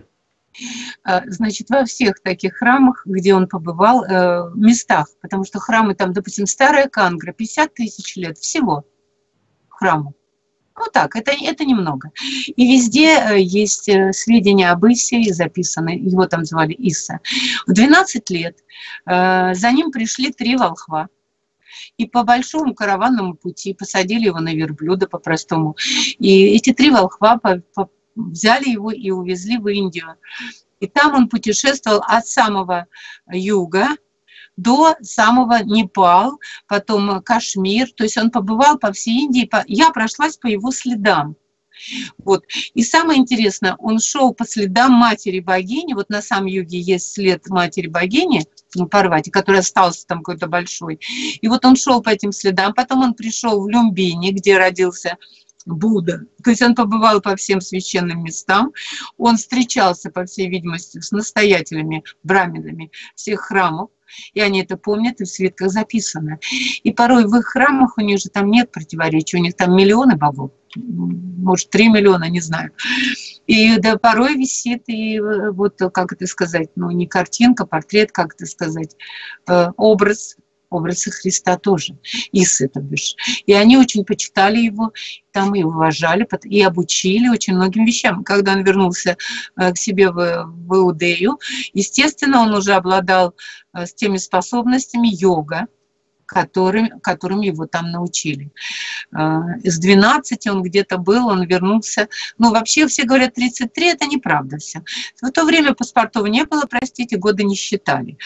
Поэтому, судя по его вот каким-то там изысканиям в Индии, он там пробыл гораздо больше, потому что в то время умер уже Иосиф.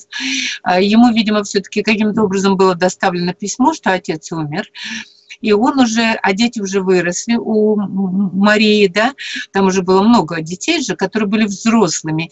И Иисус возвращается в Индию, и когда он на Церет, Назарет, то бишь, возвращается, то он уже, как сказать, для родителей несет такую ахинею, которую мать Мария не воспринимает. И тогда он там идет в соседний, он же там ни одного чуда не смог совершить. Он идет кому-то, его приглашают в какой-то дом, читает там, условно говоря, лекцию, я говорю современным языком. И в этот момент приходит, есть это в Библии часть, от Матвея, не помню, приходит его мать, и приходят его братья и сестры. Они не заходят в дом, чтобы слушать, что он там говорит, потому что для них это вообще не, ну как, не воспринимается. И они говорят, передайте ему, то есть ему передают, что за тобой пришли твои сестры и братья. Как пришли за тобой? Ну вот сумасшедшие пришли забрать. И тогда Иисус говорит, кто моя мать? Кто мои братья и сестры? Кто меня слушает, почитает там отца, которого я знаю, те и есть мои братья и сестры, а это, мол, никто. Вот таким образом он, собственно, отшил своих родственников на том этапе. И потом из Назарета он уходит уже в Генесаре... к Генесарецкому озеру, в Магдалу, где его подружка Магдалина, единомышленница, только и ждала его, потому что она была из очень богатой семьи, ее же клеветали тоже, она не была вот этой, как это называется, простите, как ее называют, она была из очень богатой семьи, и она всех этих организовала своих крепостных, назовем Рыбакова, всех, чтобы они его слушали. Вот, и он идет в Магдалу, и там уже она собирает э, Рыбакова, всех людей, чтобы они, э, ну, делает ему последователь, собственно, делает ему пиар, оплачивает его, э, в доме принимает большом и так далее. Вот, то есть она сыграла очень большую роль, и даже потом построение общины она играла большую роль. Но потом, можно скажу прям, вот я прямо сразу говорю, как бы люди могут меня простить и не осуждать. Это то, что нарыло и уже сжатым образом выдаю. Но потом, значит, вот этот Савл, который был римский гражданин, он отслеживал, отбирал рукописи, долго их читал, все то, что там э, писали ученики. Он был, это как это, тайная слежка, да, вот это, как у нас ФСБшники, извините. Ну, вот какой-то такой, полиция, тайная, тайный агент, да. И вот этот тайному агенту, по всей видимости, Рим терпел в то время фиаско со своей мечтой о всеобщем господстве, Рим рушился, и тогда принимают решение в Риме и посылают его в Иудею, чтобы вот сделать эту новую религию. И он называется Павлом уже потом, и он идет.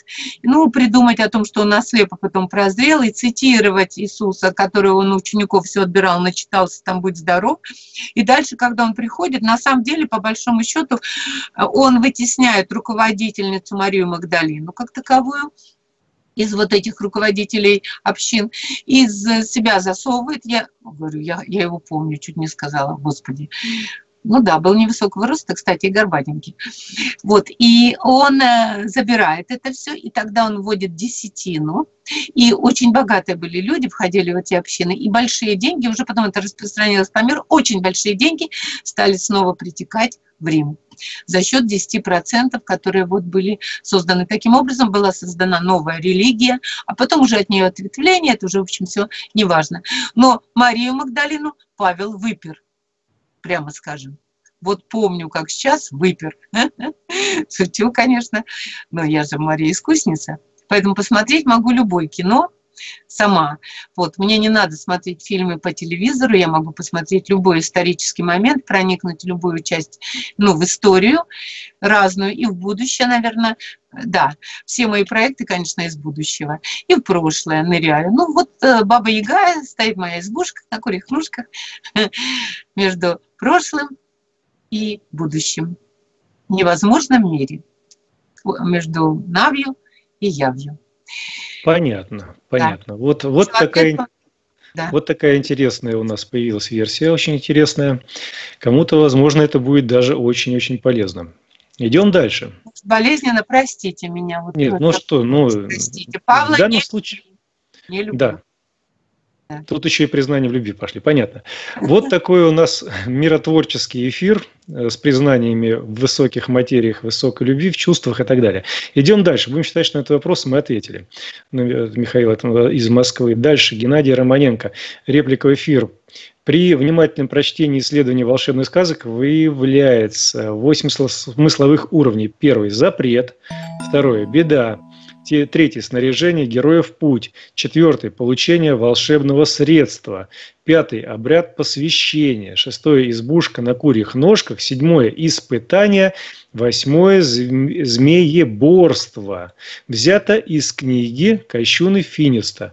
Благодарю. Вот что ты думаешь по поводу вот этих восьми пунктов становления вот я личности. про них-то и говорила, когда говорила о финисте Ясном Соколе, да, я как раз говорила об этих восьми пунктах, которые вот по победе прийти к победе.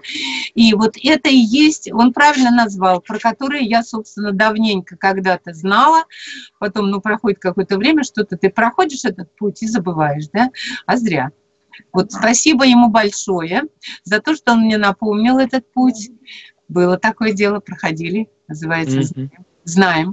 Да, все правильно, все верно. Ну, он уточнил, что это, видимо, книга Трехлебова имеется в виду, которая сейчас запрещена в России, Российской Федерации, Кощуна Да, Финиста. да, Хлебовская, да, точно, точно. Идем дальше. Александр Зачияр, вопрос эфир. Мария, что можете сказать по поводу слова «ягло»?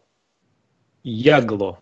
Ягла. Что-то я не знаю такого слова, не встречалась с ним. Если Мгм. могут, пусть мне сами подскажут. Правда, я не Хорошо, знаю. Но, Хорошо. я себе запишу и... э, А вообще яга... ну, Мне надо просто войти в слово. Да, вот как я, я, допустим, это просто ответ как бы. Вот я не знаю слова, вот ягла. Что я делаю? Я сажусь опять у окошка и начинаю думать над э, словом. Я вот как-то так... И потом раз как-то буквы открываются, открывается дверь, я вхожу вовнутрь, и дальше я вижу истории. И потом я могу уже не то, что там слово это расшифровать, я могу рассказать какую-то целую вот пласт целый э, э, исторический. Ну, вот так. Сейчас пока не знаю. Сейчас я вот спрашиваю, Саш, ты не знаешь, что такое ягла? Ягла? Ягла или ягла? Гло, гло. Не знаю. Не знаю. Ну ладно, хорошо. Сейчас мы окошко садиться не будем, пока Да пообщаемся еще со зрителями и слушателями, да. А дальше. Оксана Брейнер. Вопрос в эфир. Правда, что баба Яга, дочь Вия, была замужем за богом Велесом? Ну, вообще-то... Дело в том, что Баба Яга – это вот эта ступень. И не одна там на- Это всего лишь а не личность. Это да, это не сама личность, это как, да, ну, должность, вот, вот так будет правильнее сказать. Каждый человек, каждая ой, женщина может прийти до этой, дойти до этой, ну, не должность, как чина, назовем. Это некий чин. Вот так же, как Христос. Имя-то у него Иисуса, а Христос – это некий чин, это звание. Точно так же, который означает там спаситель. Точно так же Яга или Баба Яга – это звание. И женщины многие проходят, ох, по- становятся от горя бабами-йогами. Да. Нет, кто-то становится, отча... кто становится бабой йогой, а кто-то от горя бабой ягой, да, костяной ногой, где зубы на полке и нос в потолок врос. А кто-то баба, э, э, женщиной, красавицей, премудрой. Это две такие, зна- две ипостаси, да, как бы одна вот легла и в нос свой потолок и ничего не делает, а другая от горя, да, а то, что жи- лич- лично эта жизнь не сложилась, вот в бабе йоге и идем. Но это шутка, на самом деле это призвание, это путь, это миссия такая, и без нее невозможно. То есть, э, ну что, вот я правда. Мне, кстати, обо мне делали фильм на НТВ, очень испугались все. Они, значит, э, снимали фильм, он начинался в подмосковных лесах, завелась Баба Яга. Это про меня. Осенью меня привели к какому-то озеру, там в ноябре холод, и говорит, сможешь искупаться? Да, конечно, могу. Я зашла, искупалась. Снег такой лежал. Говорит, ты еще чего можешь? Я говорю, ну, разное, вот сейчас щелкну, белочка прибежит, там белочка прибежала. И откуда-то она принесла конфеты, честно слово, не орехи, а конфеты. Я говорю, ну, давайте попробуем. Значит, этот оператор жутко испугался, не, эти конфеты есть не буду, вдруг они там чего-то, откуда они появились тут. Он пытался выключить камеру от испуга, она не выключалась. Ну и много чего там произошло. И потом, когда меня привели на телевидение, там, значит, уже все шухер подняли. Я только захожу. Ну, я обыкновенный человек. Вы посмотрите, что я на бабу Ягу похожа. Вот, а мне уже все, значит, подходят ко мне. Вы что? Самая настоящая баба Яга. Ну, что вот им ответить? Ну, как? Они же, у них же в сказках это. э, Она же там страшная, она же там пугает, ее же надо бояться. От нее надо бежать. Вот. А на самом деле это ступень просто развития души. Вот, когда человек проходит такую ступень, и потом он идет дальше. Не все же время я буду бабой Егой. Надеюсь, что и как-то, может, и в Василису Премудрую все-таки превращусь, а? Но так все-таки, по твоему представлению, это дочь Вии, была ли она замужем за Велесом все-таки? Или это только одна из версий, таких упрощенных, или наоборот, может быть, каких-то сакральных древних? Я думаю, что это одна из версий. На самом деле, э, вот э, ну, любая баба Яга, наверное, дочка Велеса. А насчет Вия, ну, что они подразумевают под Вием? Того, который Гоголь выписал или что-то другое? Понимаете, здесь же все искажено.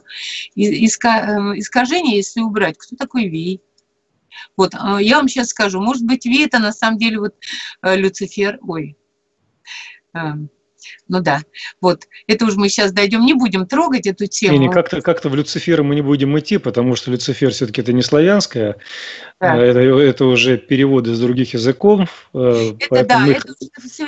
Мы их не трогаем. Мы будем как-то ближе к нашему. Все-таки Ви – это такой бог, который видел все и всегда, и правду, и ложь, и для этого мне надо было открывать глаза, потому что он смотрел в сердце человека, а сердце человека и в разум не обязательно глаза открывать. И простые люди, не понимающие древних сакральных наших знаний, они превратили Вия с такими веками тяжелыми, которые надо было поднимать и так далее.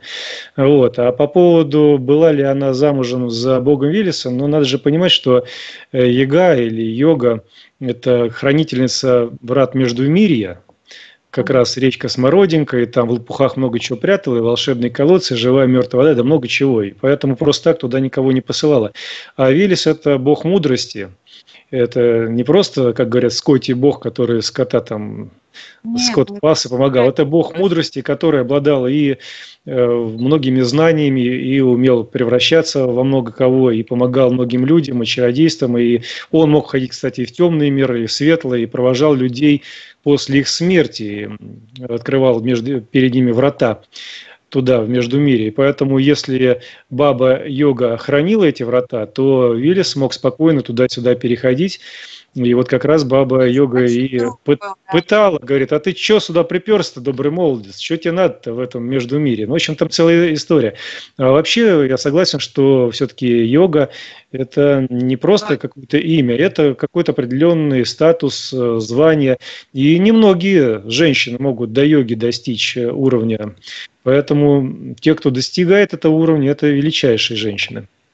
Но есть йоги разные. Есть хранительницы, есть те, которые э, помогают детям что-либо понять, э, не воруют их. Как Там сказать. еще есть ступени. Эти бабы, у бабы Яги очень много разных ступеней, поэтому у нее там и внучки есть, и все что угодно.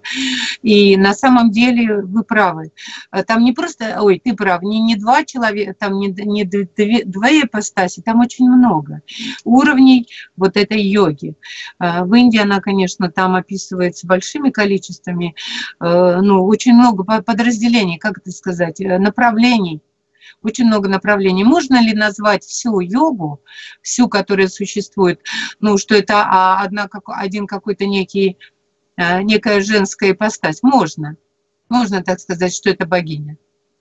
Да, я думаю, что это была и богиня, и это так и называли тех, кто служили в определенных храмах, и так могли называть тех самых э, женщин, которые что-либо охраняли и обладали какой-то неимоверной силой по сравнению с обычными людьми. А вообще еще было название не только Баба Яга Нога, но и Матушка Егиня, Такое ну, сохранилось тоже название. А это говорит, да, это говорит, ба, это не только бабушка, матушка, это говорит о том, что это очень уважительно, это высший уровень почтения, матушка, бабушка и так далее. То есть не так все просто. И Бог это, Виллис... Это бабушка Егиня, она же на самом деле есть вот эта премудрость, да? Есть такое понятие премудрость. А премудрость – это та, которая с самим Богом, Верховным Богом, творила миры то есть тут вот ну, много-много есть вариантов. Надо просто хорошо изучить наши сказы, не вот эти исковерканные, а древние сказы, творчество посмотреть, что, когда и как происходило. И вполне возможно, многие ответы сами собой придут. Да, вопрос в эфир. Дальше продолжаем от солнца. Мария, здравия. Какой образ несет в себе сивка-бурка? Благодарю. Это вот, конечно, сивка-бурка. Вещая каурка. Вообще Встань передо мной, как лист перед травой, ну и так далее, да. Да, да, да. То есть это, это как я сейчас, вот как я сейчас скажу, у меня очень большое веяние с Индией. Можно, вот как бы, и я ничего не могу отвязаться. Ну что ж, ну раз не можешь, давай хоть про Индию. Давай. так как э, Богом, э, ну, верховным Богом, Бог, Создателем был там, э, вот у, у нас Сив, был такой Сива понятие, да, а там Бог Шива, Сива, Шива, приду- пришел со Святой горы, то у него э, были волосы вот эти скрученные, которые, когда он выдергивал, вот волос, а потом уже пошли сказки про бороду, вот это, да, вот как-то там, какой-то там раз из бороды вытащил, а тут он бросал волос, из этого волоса вот создавалась вот эта сила, ну это, с- это сила, которая могла совершать э, вот те сказочные действия, которые мы читаем в э, сказках, то есть которые мы прослеживаем в сказках. То есть это сила, способная делать волшебные вещи. Но эта сила исходит от а, Бога. Вот я сейчас, если Сива, если Святогор, если Шива, то, наверное, все-таки это от Создателя, который в, в славянских народах как мог еще называться? Какими именами? Сива, Святогор, Богатырь, да? А изначально как он мог еще называться? Ну, я же не сказитель в данном случае, поэтому я тебе подсказывать здесь не, не А имею я- права. А я, видишь, Алексей, уже у тебя спрашиваю, не зря же ты с бородой. Вот тут же не просто так борода растет. Значит, если борода растет, вот ты волосик там один возьми у себя и Да, спроси. Как старик Хаттабыч. Дзынь, да? А, вот, а как старик Трах тебе дох, тебе дох, сказал старик Хаттабыч. И Гарем остался доволен, да? Вот на самом Мгм. деле это и есть сивка-бурка, вещая каурка. Только вот еще потом говорили сивый человек, да, сивые волосы. Что такое сивые? Это вот ближе, по-моему, к седым, да? Это седые светлые волосы, Да. силами называют кого светлые-светлые волосы, похожи чем-то на если- седые. Если переводить на такой язык, то можно даже сказать, что это сила волоса. Вот ну, так странно, да? Сила, сила волоса. Но волоса не волшебного, который мог превращаться во все что угодно. То есть сила волоса Бога. Ну, вот Ну, так. сивы, значит, сивка-бурка, если так вот просто перейти на бытовой язык, это светло-коричневый, такая мазь светло-коричневая. Это когда могут быть большие пятна, тут светлое, тут темное. То есть он мог находиться и в темном, и в светлом, и оттуда получать знания. Поэтому называют его вещей. Вещая каурка. Ну, каурка добавляется как эм, стихотворность, чтобы была. То есть это вещий конь. А конь – это движитель. Это то, что заставляет двигаться, в котором есть сила, которая что-то двигает. Сила, С конем сила, да, да. да, с конем связывали на Руси, но вообще в мире очень много. Кто обладал конями, тот был богат, тот мог что-то вспахать, куда-то что-то доставить, воевать, там, спастись, что угодно. И поэтому, когда эта сила что-либо вещала, то человек, который с ней общается, получал все необходимое напрямую, без посредников, то есть сразу от этой силы.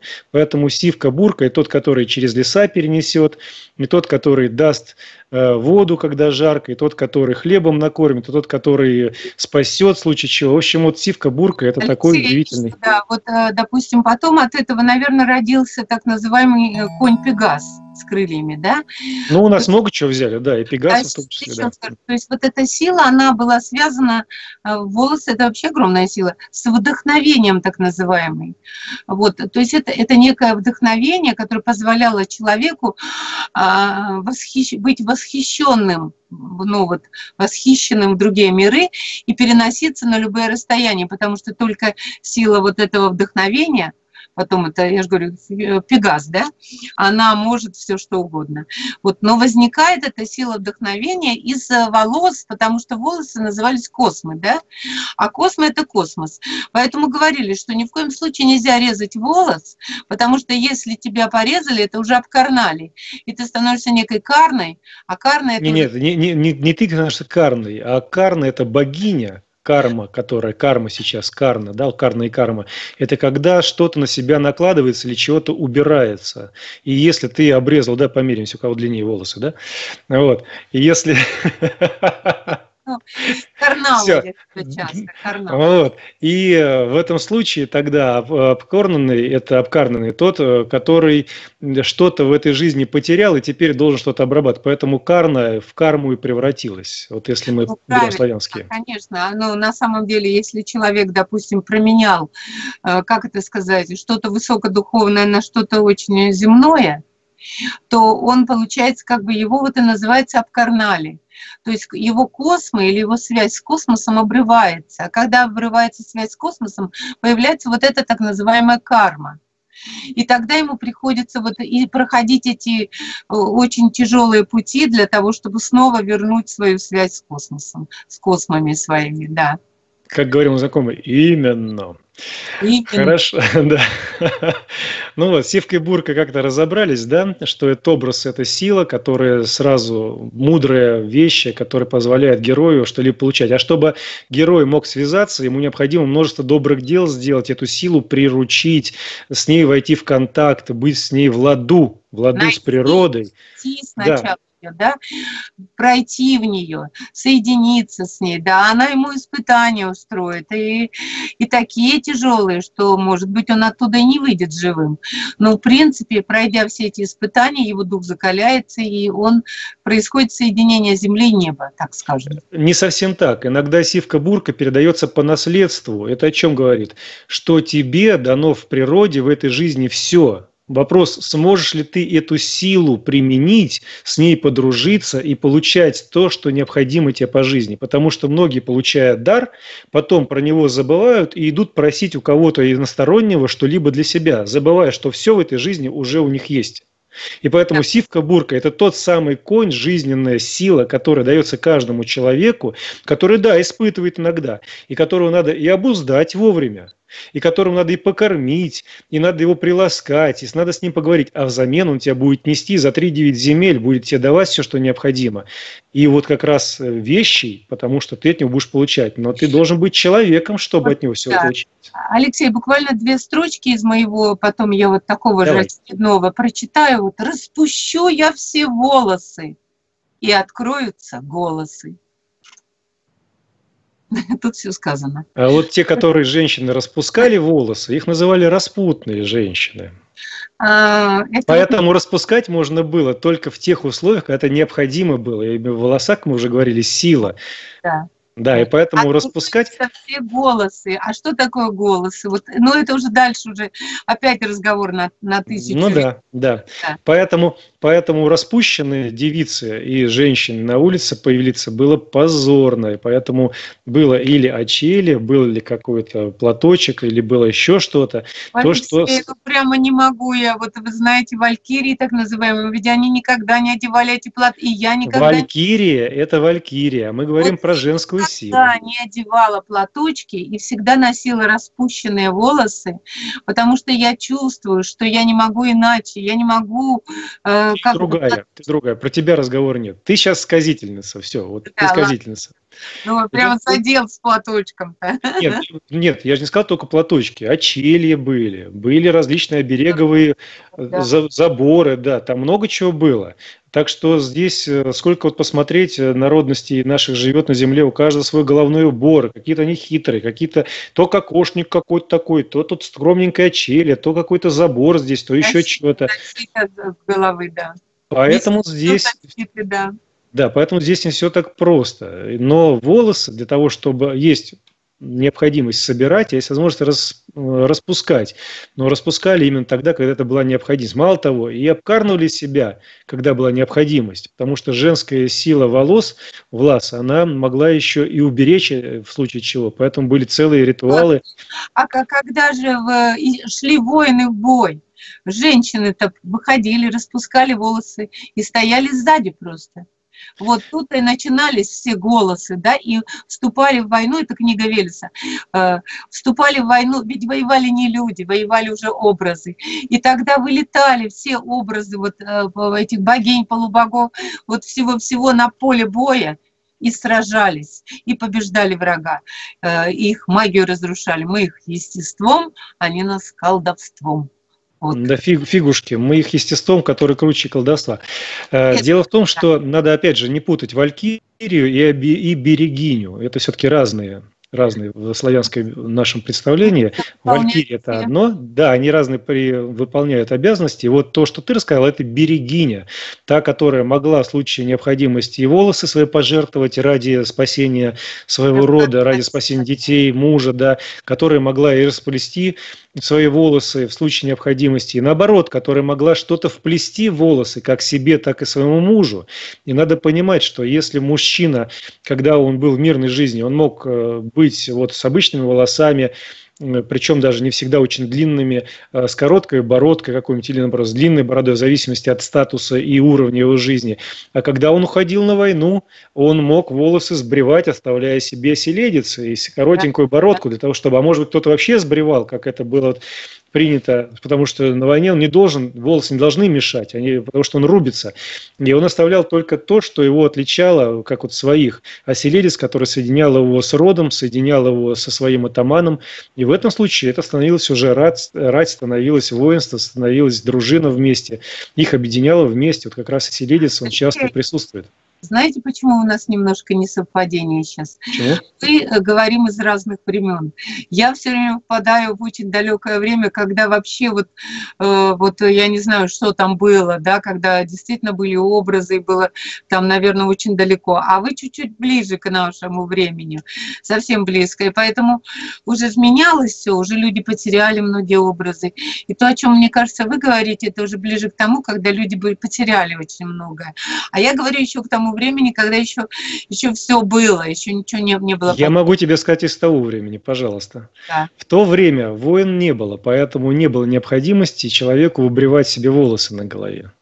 В то время э, были люди как одна большая семья, и поэтому распустить волосы не означало распущенность. Это означало несколько другое. Другое. Мы же, мы сейчас, во-первых, мы должны понимать, что было очень давно, что было давно, что было недавно, и как сейчас люди живут. Поэтому сейчас, в наше время, женщинам все-таки, те, которые живут в этом мире, необходимо э, соблюдать целомудрие. А целомудрие – это когда цело и мудро вместе с сходится. Целость мудрости, целомудрие. А не только с точки зрения того, что между ног, чтобы целое сохранялось за определенного момента. Уж извините, пожалуйста. Ну, вот тоже не надо так ее... Нет, нет, я, мы говорим по-взрослому, то, что есть, время уже позднее. Целомудрие, вот, да, целомудрие, да? Целомудрие это, це, это целость всего, это мудрость всего, включающая и то, что связано с семейными делами, включая то, что связано с божественным, включая то, что связано с горизонталью, это от это общества все, наше. Это просто умение жить на земле в любых да? условиях, да? Да, умение это есть, это вот есть это да. есть ведание, когда люди ведали, что они делали, понимали, что они делали, и жили в ладу с природой, свято чтя заветы великомудрых предков. Вот. Естественно, что катастрофы происходили, менялись какие-то там условия жизни, давались новые заповеди, но мы сейчас все-таки идем ближе, чтобы люди понимали хотя бы, как вот жили, ну, не тысячу лет, потому что в тысячу лет уже было много что искажено, а жили чуть-чуть подальше, вот там вот э, там 13 тысяч лет, то туда вот поближе. Да, да, да. Но, чтобы туда дойти, пройти, нам надо хотя бы эти пласты пройти, Ой, поэтому касаясь да. и современного, и удаленного. А то, что совсем дальнее, тоже могу что-то рассказать, но не об этом мы сейчас идем. Так, вопрос эфира от Михаила из Михаила от Москвы. Хочется узнать, есть ли схожие персонажи в индийских народных сказках с нашими, и какие образы там присутствуют? Возможно, поверхностные. А, абсолютная схожесть просто абсолютно. И, но другие имена, понятно. Э, там такое количество персонажей, которые любую нашу сказку возьми, там обязательно найдется какой-то персонаж в индийской философии. И, но в этой философии там присутствует, если разделить все, там присутствует, собственно, там нет ада, потому что это христианство в 15 веке, ну вот создало ад, да, да, и поэтому у них нет никакого ада. Но у них есть э, э злые герои, которые называются ракшасы, это совсем плохие люди, это как вампиры, да. Вот есть демоны, так называемые. Есть демоны с кодексом чести, без кодекса чести, есть полубоги, есть боги, есть мудрецы, есть святые, есть много разных историй э, эм, вот этих отношений мужчины и женщины, отношений в семье, там столько этого, вот, вот такие огромные тона, тома, и все это очень глубоко.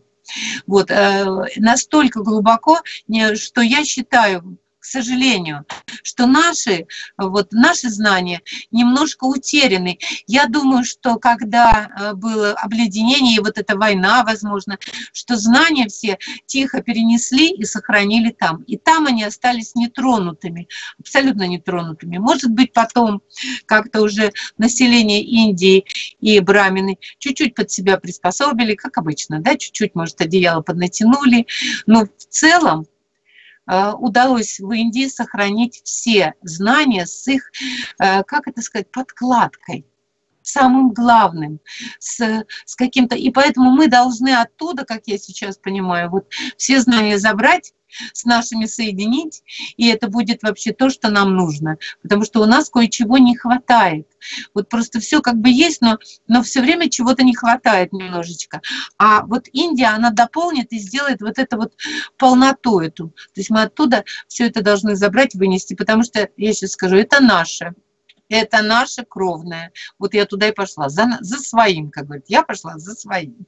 Из не, чуж, не чужое беру, свое возвращаю. Свое. А, Алек, Александр Зой Зачияр написал в эфир «Я гло» – это игла, которая была в яйце, яйцо – это аура или ведагон. Игло есть у каждого человека, и оно как кристалл тонкоматериальный. Такая вот есть инфа. Вот ответ, что такое иглу. Спасибо огромное. Значит, это такой духовный некий стержень, я бы сказала, да, то есть который угу. есть в человеке и держит его. Ну, наверное, я тогда имею, вот, я считаю, какой-то такой центральный стержень, э, по которому я иду в этой жизни и с него как это не схожу. Да. Игло у тебя на месте, понятно. Идем дальше. Вопрос, опять про меня, да? Что такое? Слава богам и предкам, да. Вопрос эфира Солнце. Мария, в сказках, например, у Александра Сергеевича Пушкина есть такой сюжет, когда царицу вместе с сыном засмолили в бочку и отправили по морю, что явилось, что явилось прообразом для подобных сюжетов. Благодарю. Угу. Да, в бочку с сыном посадили, запаяли и пустили по волнам.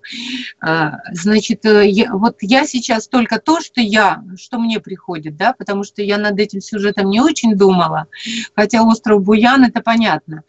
А, я думаю, что э, для того, чтобы человек вырос по-настоящему, да, его нужно поставить, вот, познать ограничения – вот бочка – это некие ограничения, когда тебе закрывают вообще все видение. Я проходила этот путь, эту бочку, когда тебе все как бы Бог закрывает, и ты как бы вот ничего не видишь, ты идешь в темноте.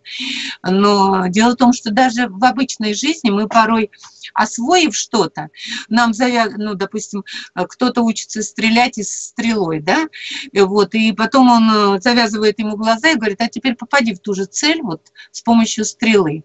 Я думаю, что именно э, это зашифровано, что э, для того, чтобы обрести силу, нужно попасть в эту абсолютную темноту. И это не только для одного человека, там, Гвидона и вот этой царицы. Э, это на самом деле для, может быть для всей планеты Земля, для одной какой-то страны. То есть э, вот сейчас я считаю, что наша страна, как ни странно, да, она погружена вот в эту бочку мы в этой бочке. Но в этой бочке именно и происходит самое главное, этот рост. А потом, когда океан выбросит на берег, вот все прямо, вот все в жизни происходит, куда ни посмотри, э, это все прямо на наших глазах, все сказки Пушкина, все сказки, какие есть, все сейчас прямо материализуется. И вот все это есть. И мы сейчас находимся все, не только я одна там, допустим, мы все находимся в этой бочке. И каждый проходит э, э, это, когда нас несет по волнам, и когда мы становимся слабыми, как дети, то есть, понимаете, вот на самом деле, когда человек силен, он крутой, такой сильный, все знает, но он тогда ожесточается, он становится жестким. А, и потом, а потом Бог его раз так и делает ему так э, в детство, и он становится слабым он становится, он ничего не видит, ничего не понимает, но волны как таковые, это и есть вот, это, вот этот поток Бога, который его вынесет куда надо, на тот остров, на который ему и нужно.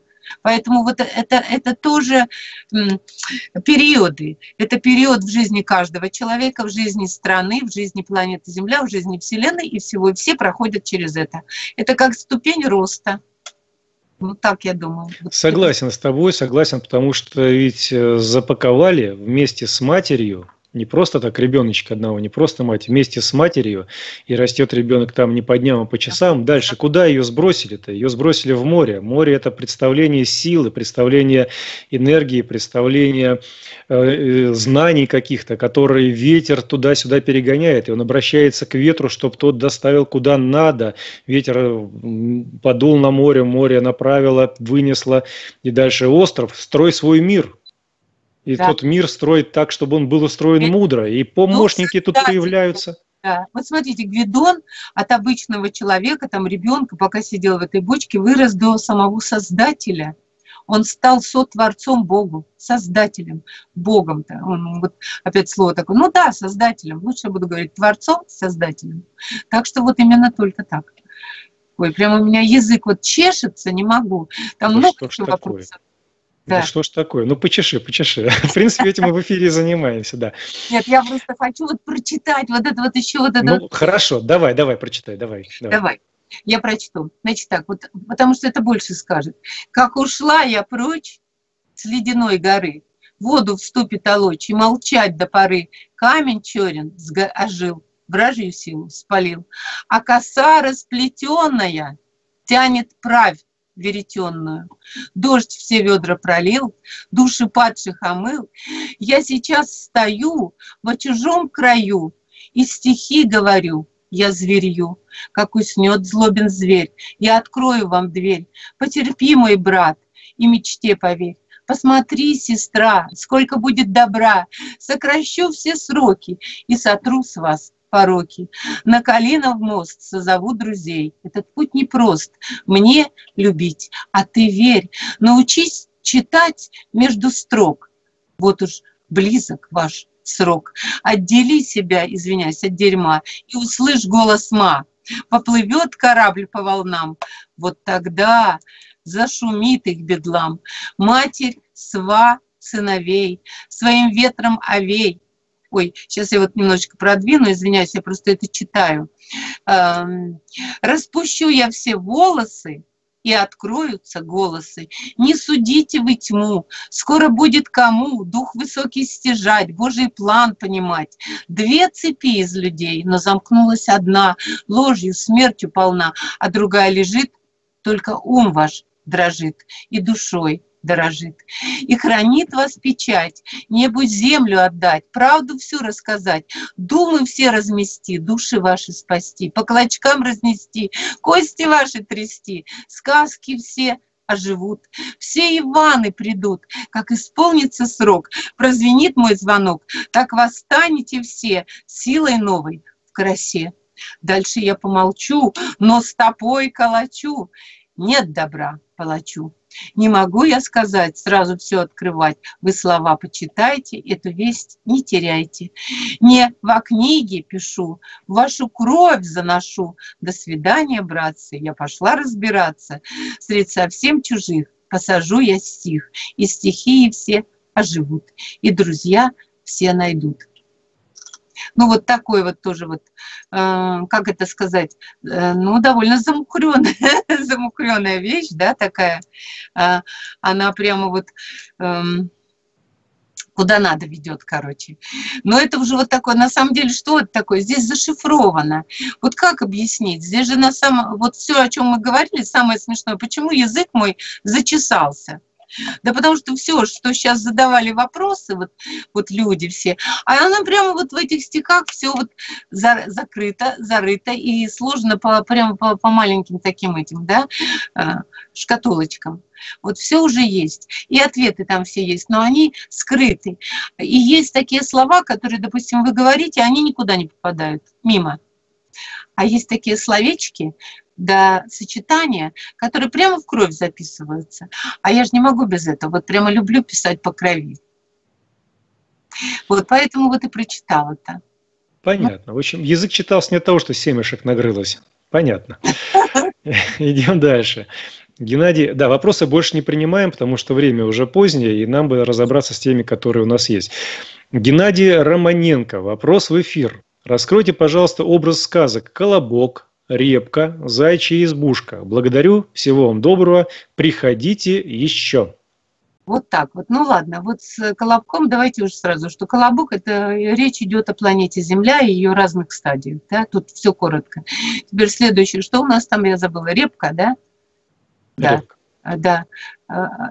Еще есть, подождите, я про яйцо еще ку- курицу снесла. А, это не то. Я уже совсем. Так, Там еще реп- ку- курочку рябу ты уже начинаешь, да, вместе с репкой скрещивать. Да. Ген- Генно-модифицированные эти организмы создаешь, да. Да, да, да, да, уже все геномодифицированные пошли.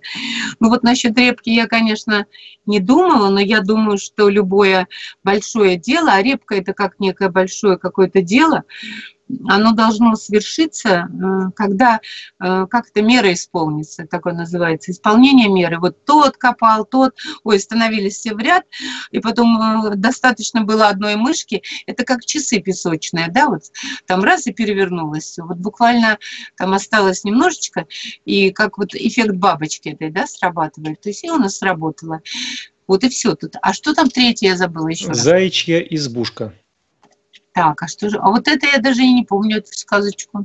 Ой, несколько вариантов есть. Самый простой – это когда жил-был заяц, у него была избушка лубиная, у лисы была избушка ледяная, весной избушка лисы растаяла, пришла она к зайцу проситься сначала на порог, потом на, крыль... ну, на крылечко, потом на порог, потом в дом, под печку и выгнала. И там потом разные звери приходили и изгоняли. И медведь пришел, она его изгнала, потом там кто-то еще пришел, и собака пришла. В конечном итоге пришел с косой петух, ну и они с зайцем из лесу изгнали. Вы знаете, вот у меня сразу то, что возникло, это, это связано с временами вообще, какими-то тоже периодами, вот и, э, и как эпохами, да, такая эпоха лисы, может быть, эпоха волка, ну, я сейчас условно, А, и что побеждает вот какая-то определенная эпоха, которая связана с петухом. А, Возможно, я даже могу привязать эту сказку вот к сегодняшнему 2017 году, например. Но дело в том, что вот эти эпохи, они же повторяются. Вот, и похоже, что вот лиса-то как раз и заняла э, избушку-то зайчика нонче. Вот. А вот ждем петуха. Вдруг А ты знаешь, э, как э, часто петуха-то называли? Вот э, разные были названия, но есть такая версия, так, с точки зрения версии будем говорить. Вот есть, чем петух обладает, в отличие от других, голосом громким, да? Да, да. И вот э, как раз через голос идет пробуждение, идет донесение знаний, и вот эти знания, которые пробужденный человек в себя впитывает, помогут нам избавиться от морока лисы, время которой уже прошло. Уже прошло, а все, некоторые все в мороке. А уж голос давно звучит. А тут же голос, звук, да, вот это же, это же не просто голос, это волна определенная, которая, да, да, да, да, да, которая достигает, проходит через все наше тело, опять же, через кровь, и опять все в кровь, да, вот кому что. И начинается пробуждение нового человека в старом. То есть вот, допустим, не в том смысле возраста, нет, это извиняюсь, а просто вот в этом в старом сознании зарождается новое, и оно начинает расти. А растет оно вот опять в этой бочке, Мгм. которая опять по волнам. Вот тут все завязывается. Вообще все сказки можно взять и завязать в один узел, и они оживут все. Надо понимать, что старый никогда не был оскорбительным. Старый от слова стар звезда. Да, звезда. Это связано с космосом, это связано с мудростью, это связано... Есть дряхлый, есть ветхий, есть старый. Это разные понятия. Я не просто Вет- стар, я суперстар, да? Да, ну да, старый это искаженное наше древнее слово. Вот, поэтому старый это тот, который с тар. Тар это звезда, Тара, это А полярная ещё звезда. Тара, это Старый, это а Тара еще это богиня мудрости, Богиня богиня красоты, богиня помощница. Вот, отсюда много слов идет. Поэтому старый это который умудренный, который достиг звездного уровня понимания и при этом не дряхлый. Не дряхлый, А не ветхий. Тогда они старели, собственно, они набирались Так мудрости. я про то и говорю, да, мудрый, вот это старый. А. Вот. А по поводу, вот ты сказала, обозвала так в очередной раз э, нашу Землю планетой. Все-таки планета – это иностранное слово, означающее блуждающую звезду. Мы все-таки не на звезде живем, мы живем на Земле. И славяне, русичи всегда называли землями, землями. Земля такая-то, земля такая. Поэтому вот эти все словечки вброшенные специально, которые замутняют наш разум и в морок А нас в мае планета, уводят. планета, это происходит от слова план, да? Когда жрецы определенные с иноземьем собрались, они же ведь и постановили так, что, что они вот они построили план, который вот сейчас магический этот план, по которому и засунули нас в эти блуждания. Но сейчас наша Земля возвращается нам. А планета, то бишь план вот этот, который записан в этих, не будем говорить, каких книгах, он разрушится. Этот морок уйдет, да. Это так. Иные, и мы их называем иные книги, иные, то есть не наши, иные. А, еще говорят наркоманы, планы накурился, да? Да. Вот есть такое, планы накурился, и все, он ничего не соображает, вот, вот дурман. И, кстати, вот про зайчика, ты мы-то про лесу сказали, про петуха сказали, а заяц что означает? Если внимательно разобраться, заяц – это безобидное существо, в принципе, да, которое вот там бегает, травку грызет, лиса за ним охотится, волк за ним охотится, какие-то там птицы за ним охотятся. Так получается, жил заяц в своей избушке, никого не трогал. Пришла хитрушая лиса, которую выпендрила, которая стала им управлять. Он обиженный, несчастный, сидит и плачет. И в конечном итоге пришел тот самый с голосом, который рассказал, что делать, и помог зайцу избавиться от этого морока, избавиться от этой рыжей бестии. Не про тебя имеется в виду. Вот, избавиться Да, от в нее. коем случае. Ну что Да, это? да, да, это да, да, да, да. На самом деле я блондинка. Да, я блондинка. Вот. Нет, нет, Ну, просто я правда хной, э, уж приходится уже, знаете, оправдываться. Понятно. Пон- Ладно, ладно, не надо. Ты красавица, я понимаю. Нет, я просто светловолосая с детства, но потом решила себя вот, э, как это, еще светлее сделать неправильно, и потом пришлось хной уже красить, чтобы волосы назад вернуть. Обкарналась. Короче, короче, вот э, возвращаемся. Все с тобой понятно, с блондинкой все понятно, не переживай. Все, на старо- как это говорит, на старушку не с точки зрения э, старости, дряхлости, а старушку мудрости и бывает прорушка, да, есть такая. То есть вот бывает, ну, ну что, ну, всякое. Пришлось хной поправить. Ничего страшного. Это все нормально, красиво, никуда ничего не делать. Я про другое, я про зайца все-таки говорю.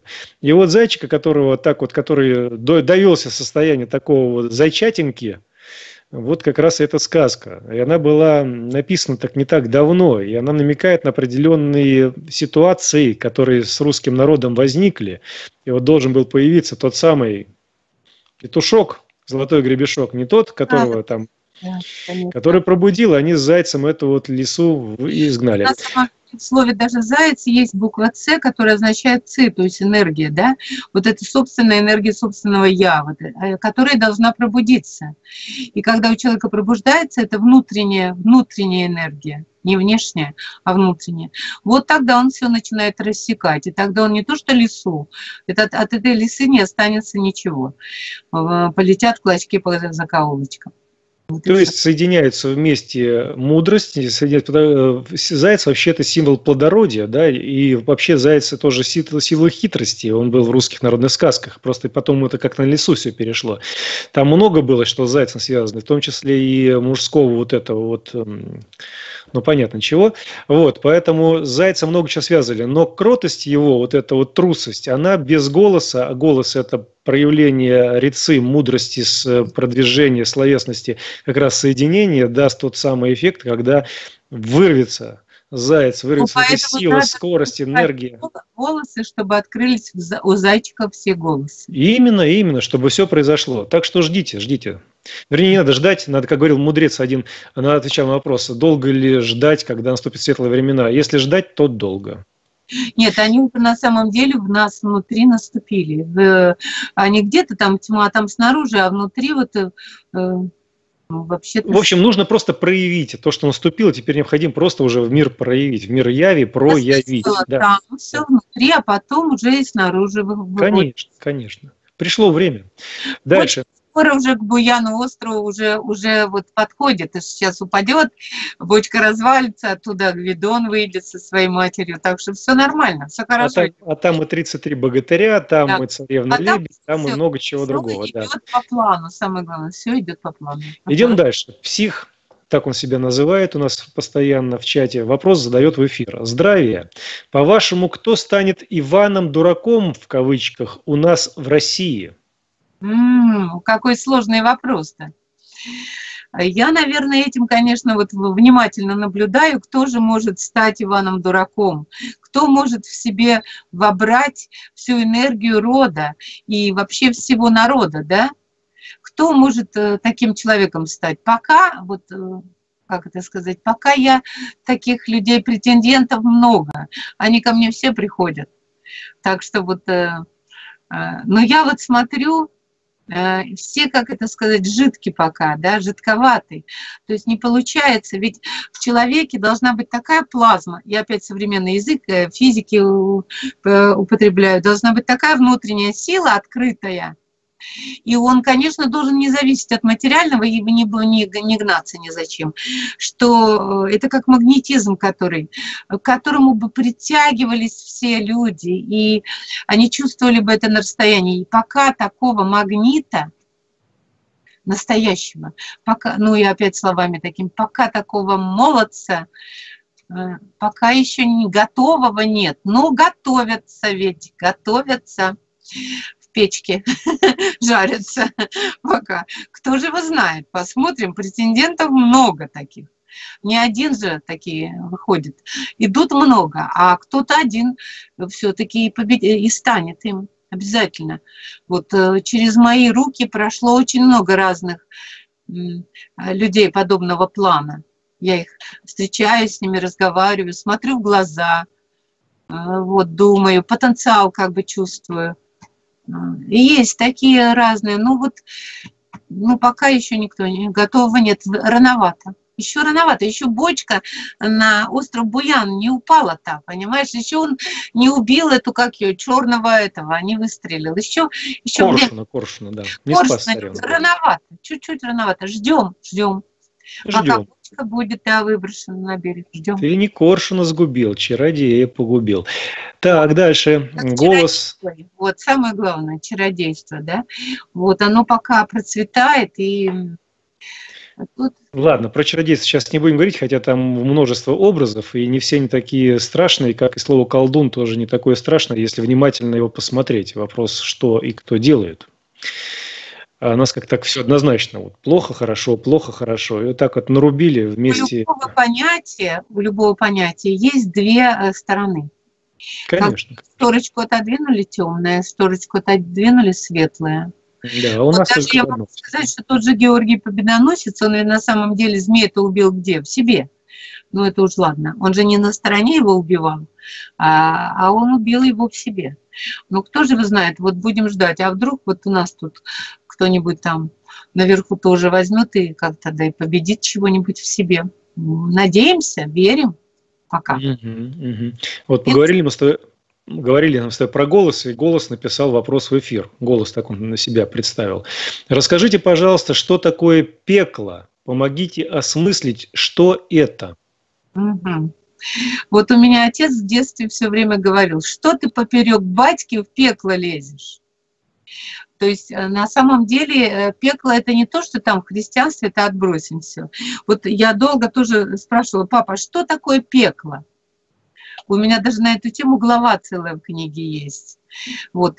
И вот он мне рассказывал, он говорил мне о душе, которую нужно, ну это мое понимание, да, о душе, которую нужно беречь страшно, а, и, значит, что она и тонет, там, это целая глава, это же целая жизнь прожитая, у меня отец был такой искусный товарищ, вот, и она в огне горит, и вот э, он мне давал всякие загадочки, э, что ты поперек батьки в пекло лезешь. Не зная броду, там, что куда ты идешь, короче, куда ты сама идешь, даже не разобравшись, что к чему. И ты попадешь в пекло как раз. А, для меня вот это осталось таким образом, что если человек живой, и в нем живая душа, э, то он, знаете, он мне такой эксперимент провел, вот говорит, дом горит, что ты будешь делать? Вот. Э, ну, я, значит, там засуетилась, а он перед этим мне сказал, что нужно беречь душу, и даже я в детстве маленькая была, спичек боялась, что вдруг душа сгорит. Вот так он меня напугал, что вот душа, она там от малейшего чего-то сгорает. И вот дом горит, что ты будешь делать? Я говорю, вот зайду, там спасу свои книжки, там-то еще чего-то. А он мне как раз и сказал, что прежде чем сделать какой-то шаг, нужно сесть и заглянуть в свое сердце. И делать шаги только тогда, когда ты э, определила это сердцем. Если ты это сердцем не определила, то любой твой шаг – это будет попаданием в это самое пекло. Вот, то есть как бы вот это все, что он не разъяснил. Возможно, есть какие-то другие вариации совершенно. Э, то есть, ну как вот пеклом называли, это где самый большой огонь, где самая большая борьба, где пик всего. Ну, допустим, пойти там сегодня на какую-то площадь, где там собрались все люди, и вот, вот это вот все варится там, это попасть в пекло. Вот. То есть каждый делает свой выбор, нужно ли ему вариться в, этой, в этом котле. Или, может быть, э, не лезть поперек батьки в пекло, если отец сейчас ну, создатель, решает какие-то вопросы, то прежде чем сделать какой-то шаг, когда, вот, когда работает отец, э, создатель, Бог, э, то, может быть, прежде чем сделать какой-то шаг, лучше сначала посмотреть свое сердце, стоит ли это делать. Ну, вот так что-то. Не знаю. Понятно. Но я вообще всегда рассматриваю с разных э, взглядов различные слова и выражения. Есть пекло, которое, например, в печке, там что-то печется, потому оно и пекло. Есть э, пекло в переносном смысле, когда что-то завертелось, закружилось. Вот ты сказала, там на улице что-то происходит, и народ собрался и начинает там что-то делать. Пекло. Есть пекло военных действий, есть пекло иномирия, пекельные миры, так называемые. Это не ад, это пекельные миры нашего мировоззрения, куда вот необходимо очиститься. Когда, если душа здесь что-то на себя лишнее набрала, необходимо, прежде чем к своим родичам вернуться, вот сначала очиститься там, себя смыть, это сбросить, ну типа баньки такой, да. То есть не, не париться там на сковородках, э, как это нам ну, рассказывают, да, а просто зайти туда, смыть, очиститься при помощи священного огня и так далее. А есть пекельные миры, которые всем этим заведуют и которые, в общем-то, здесь представлены для того, чтобы испытывать людей и постоянно какие-то там занозы в одно место вставлять, и здесь что-то устраивать. То есть пекло – это многогранное такое представление. И оно однозначно представляется только каким-то людям, которые не совсем понимают, как устроен этот мир. То есть, которые делят хорошо-плохо, все, по-другому у них не может быть. Не может быть понятия, что... Сворачивается, да? Э, да, да, да. Ну, как в Фаусте, вот есть сила, которая, сотворяя зло, да, она творит добро, добро, она вот направляет куда-то. Вот примерно то же самое и здесь. Пекельные миры – это враждебные нам миры, но если бы не было этих враждебных миров, у нас бы и не было здесь на Земле какого-то движения, потому что некоторые люди здесь очень сильно любят расслабляться. Достаточно в этой, как мне говорят, в этой тюрьме слишком комфортные условия. Вот чтобы, чтобы жизнь малины не казалась, вот такой здесь вот этот появляется с такой вилкой, да, и начинает там что-то кому-то делать. Вот э, человек, если он останавливается на своем пути развития, нужен какой-то стимул. Это палочка такая заостренная, сти, Палка, мул – это, понятно, такой полулошадь, полуосел, кого надо этой палочкой погонять. Вот когда человек останавливается на своем пути развития, то ему приходится этой палочкой куда-то тыкать, чтобы он дальше пошел. А разумный человек, здравомыслящий, тот, который понимает свое предназначение в жизни, он никогда не останавливается, он движется. Он сам находит себе и сложности в этой жизни, и их преодолевает в этой жизни и так далее. Да, а вот для тех... Найдет, да, да, да, а вот те, которые останавливаются, вот такие чертики и нужны. Поэтому пекло здесь тоже нужно для определенной цели. И пеклов во всех смыслах. Но без пекла вы не ту же самую репу не приготовите, да, если вы не сыроед. Или что-то еще не сварите, не пожарите. Пекло нужно. Огонь нужен, он тоже в пекле. Из пекла это такая стихия очень важная. Поэтому не относитесь однобоко ко всему, что вы видите. Смотрите целиком на этот мир. Вы тогда сможете применять то, что вам раньше казалось что-то плохое, в благих намерениях, благих целях, а не просто так это ругать и так далее. Но это как-то вот так вот. Ну да, это а, довольно такое понятие обширное, поэтому его нельзя там взять и однозначным каким-то явлением описать. Это невозможно. Это многогранное очень, совершенно верно. Все, идем дальше, чтобы... Тебе, да, тебе как уже к предсказательнице. Раз уж там себя назвала кем-то таким высоким, да, вот, пожалуйста, на тебе, получай вопрос не по теме. Вера Питерская, так, вопрос тебе пишет эфир. Что будет с Питером этим летом, когда будут сбрасывать биологическое оружие на Питер? В какие даты? И куда бежать, чтобы спастись? Ленин, Ленинградская область подойдет? Что ты, за, голову хватаешься? К тебе вот по-серьезному обращаются, не смейся. Да понятно, тут уже вопрос вот такой к стенке поставили, и все, отвечай. Значит, я могу сказать одну вещь. Э, есть на свете много всяких явлений. И оружие, и биологическое, и химическое, и психотронное оружие, которое сейчас в Москве у нас много чего стоит. Но вот э, пусть она меня попробует понять. Э, каждый человек который э, имеет душу и создал вокруг себя свой собственный мир. Вот знаете, один человек там прошел, на него упало, его убило, а другой тут же прошел, вот на секунду опоздал и его не тронуло. Э, так, точно так же и с другими явлениями. Даже если куда-то где-то скинут какое-то оружие, если человек живет, э, так скажем, в Боге, с Богом, и вокруг него создана вот это, а, назовем аура, не аура, пространство, то э, вот, допустим, кого-то поразит, а, а он пройдет, и с ним ничего не будет. Он будет не тронут вот, потому что мы не только тело, ну 5 же процентов всего тела занимает остальное, мы являем собой разные очень сильные энергии. Даже я вот точно знаю, что я сейчас приведу пример, и все будет понятно. Наверное, еще маленькой девочкой, будучи уже, да, там с Богом в войнах определенных, я там с одним мальчиком, я сейчас приведу очень тяжелый случай, но все будет с него понятно, Мишей. Его звали Миша. Мне было 6 лет, и ему было 6 лет. Взрослые сказали, что вот есть грибы хорошие, а есть бледная поганка, она самая страшная. На свете от нее помирают. Вот, естественно, я сейчас не помню, кто, может, это я, простите, или может он.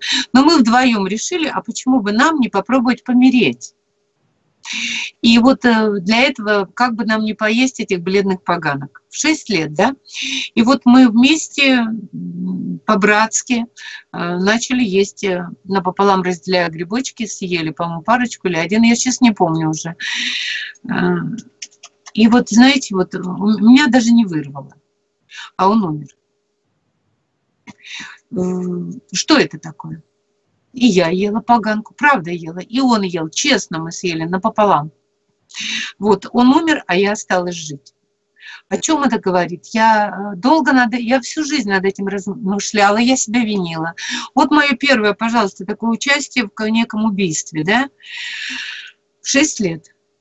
Ну, вот причастно, каюсь. Но это дало мне повод для больших размышлений о том, что каждый человек э, если он, он может быть невидимым, он может в тот момент, когда, допустим, будет сбрасываться вот эти вот, допустим, какое-то страшное оружие или там какие-то яды, а, если он в этот момент будет помнить свой род, своих предков, своего Бога и быть в этом состоянии, а, я даже уверена, вокруг него какая-нибудь капсула образуется – и перенесет его в другое пространство и в другое время, на это время. А потом, может, вернет обратно. То есть вот только так я предлагаю верить. Но если верить, что надо бегом спасать свое тело, бежать ну, куда-то в, Ленинградскую область, понимаете, бросать свой дом, там еще чего-то, ну, то есть, э, вот знаете, что я хочу сказать? Вот если город Ленинград решили угробить и всех людей убить, а я что, жива хочу остаться? Нет, я лучше вместе со всеми погибну. Но это моя позиция. Потому что, ну а как? Какая у тебя интересная позиция. Понятно, хорошо. Я Но согласен я знаю, что Бог Бог всегда рядом. Он гораздо ближе, чем мы все думаем. Он просто настолько близко. И Он нас спасет. Природа, это тоже, вот она же имеет эту силу огромную. Просто закроет, спасет. Все. Я с тобой согласен с тем, что кому суждено утонуть, тот э, не сгорит и так далее. И, во-первых, э, почему, надо задать вопрос себе, у вас такое предчувствие, что должны именно вас каким-то образом травить, именно в Питере травить. Да, разговоров много идет. Вы этого заслуживаете, чтобы вот такой смертью умереть и уйти от жизни? Ну, умереть всегда придет, все равно когда-нибудь придется. Но именно вот здесь, именно от биологического оружия, что вам необходимо умереть. Просто задумайтесь, вам это надо – вы в этой реальности находитесь, вы создали все ситуации э, для того, чтобы вам именно так из жизни уйти, именно в этом месте, или нет? Просто обдумайте все это. И вполне возможно, что через свои мысли, мало того, что вы, если вам... Да, я к этому веду. Мало того, что вы сами не погибнете, вы еще спасете других людей, которые просто этого не осознают, но вы поймете, что не нужно это. Или наоборот, вы поймете, что да, нужно. И тогда скажете, а вот хорошо, я готов, я готова, и все нормально, как эти... Хорошая фраза, а баба Яга против. Да, просто у нас куча сект появилась, которые там предсказывают конец света тогда-то и тогда-то, и сами себя и травили чем-то, а кто-то и специально там создавал условия для травки. Так что здесь просто создавайте тот мир. Скажите, как ее зовут? Кого? Как? Девушку? Ну, которая... Вера, Вера из Питера. Питерская. Вера Ох, Питерская. Да она же Вера сама. О чем она думает вообще? Как веришь, так и будешь, Вера. Если ты захочешь, чтобы никакого биологического оружия никто не сбросил, ты только захоти, поверь, и ничего этого не будет. Вот и все. Все в тебе. И не зря она написала, и не зря ее Вера зовут. Но Еще это раз. очень сильно надо захотеть, очень сильно. А я присоединяюсь к ней. Еще раз, надо понять, что вы, если это желаете, это произойдет. Если вы считаете, что это не должно произойти по каким-то причинам, зависящим от вас, то этого не произойдет. Просто нас приучили, что от нас ничего не зависит. От нас зависит все, вообще вранье, все. Вранье. Все от нас зависит. Вот То вообще я все. против. Спасибо ей, что она мне сказала. Я глубоко против. Вот я против. Не И принимаешь. Не произойдет, не произойдет. Потому что я против. Баба Яга против. Все. Хорошо. Анна, так и передайте там наверху, ребята, да. Тут товарищи не согласны. Вы обдумайте свои действия. Нет, если я не согласна, то извините. Вот и если еще кто-то не согласный, ничего этого не произойдет. Понятно. Идем дальше. В общем, мы все сказали. Идем дальше. Анна Бондаренко из Ютуба. Реплика. В регрессе человек должен находиться только в, ос- в осознанном состоянии. Входить, загружаться нужно только с кристальными мастерами и только в свою матрицу, которая рассчитывается по таблице Пифагора. Вот что такое регрессивный гипноз. Идем дальше. Ой, Алексей, просто быстро. Да, конечно, вот как определить, кто кристальный, кто не кристальный. Это опять. А судьи кто? за древностью лет. Это очень сложно. Насчет осознанности, правда, нужно быть всегда осознанным. И тогда ничего не случится. Даже если тебя поведет туда какой-нибудь этот... Кристаль, кристальный человек, да. Не кристальный человек, все равно, если ты осознаешь и скажешь «нет» в какой-то момент, вот это слово «да» и «нет» открывается и закрывается. Это два волшебных слова. «Нет». Я так не желаю. Все назад.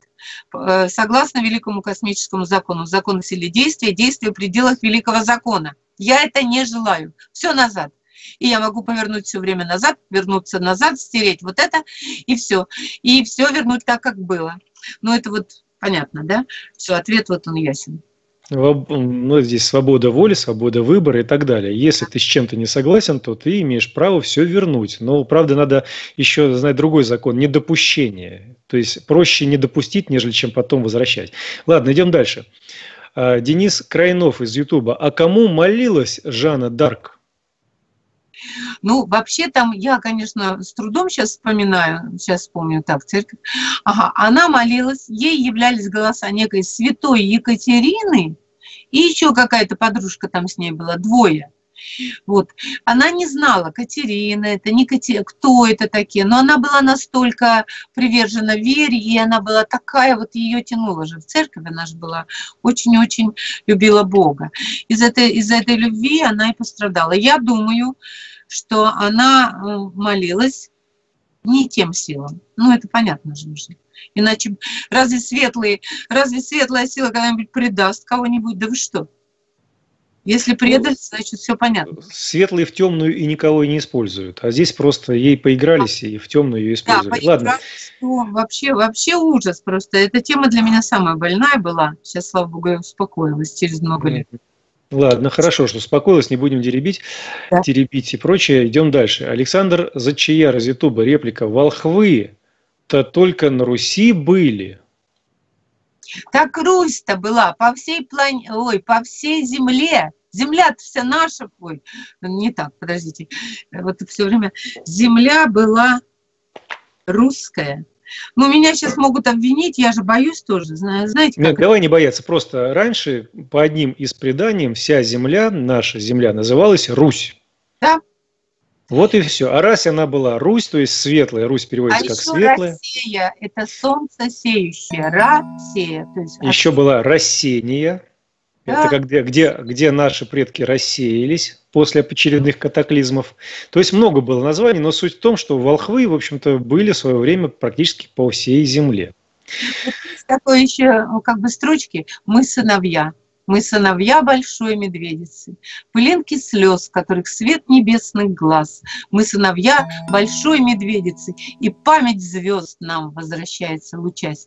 Так называемые гипербореи, откуда они пришли. То есть это же вот все это вот все это записано, все это есть. И надо понимать, что был один народ, была э, даже не, не народ, а все это было, а, были просто, да, были просто человеки, а однопорядковые. А потом, конечно, уже появились разные иноземья. Ну и начались уже процессы другие. Но Русь, она везде. И она И- остается везде. Куда, куда ни глянь, везде земля русская. А, Александр Македонский, если вы посмотрите его грамоту, там написано от края Вселенной до края Вселенной. Все земля русская. Ну, македонс, македонского грамота, так гласит. Вот. И э, среди китайцев, и среди африканцев, и среди всех национальностей везде есть русские. Все, кто... Смотрите, в любой стране есть те, кто знают русский язык. Есть такие даже племя где-то обнаружили, что приехали туда куда-то вообще в глухую Австралию, а там на русском языке говорят. Вот. Индия, вот э, санскрит, это же вообще русский, один в один. Только кое-что тут сейчас в русском языке потеряли мы, а они сохранили. Если у нас чашка, то у них чашака. То есть у них за каждым гласным идет согласный. Что такое гласные и согласные звуки? Это же входы, это коды. Гласный звук – это тот, который слышал глаз космический Божий. А согласный, вот это уже к нему присоединились эти все потом и глухие, и слепые, и такие сякие. Вот это все народ. Это все присоединялись согласные голоса не слышали, но соглашались с гласным и соединялись с ним, и получались слоги. Но это длинная история, это вообще как бы уже в другую сторону пошли. Уже пошли по поводу э, языка, звуков и всего такого. Поэтому... Где есть сказки, там и язык, а где есть язык, там и звуки, а где звуки, там вообще образы. Да, ну ладно. язык, живой, живо, так называемый, Мгм, да? мгм. Который животворит. А все вот эти законы, которые понаписали, вот это вот все, как можно написать закон для того, что каждую секунду изменяется живая душа, она наполняет все вот это, как это, как для нее какие законы? Она и так живет по законам высшим, и она не может совершить что-то плохое. Законы это написали уже потом, я не знаю для чего, для кого, когда все изменилось. Вот, а вообще все живое, все дышит, мир дышит, все живое, каждый атом. Вот у меня я так отношусь, что куда ни посмотришь, ведь все живое, ведь все это имеет разум, ведь все это излучает. Ну, вот, вот таким был мир, он весь лучился, и человек сам лучился, и потом он говорил, лучистый человек.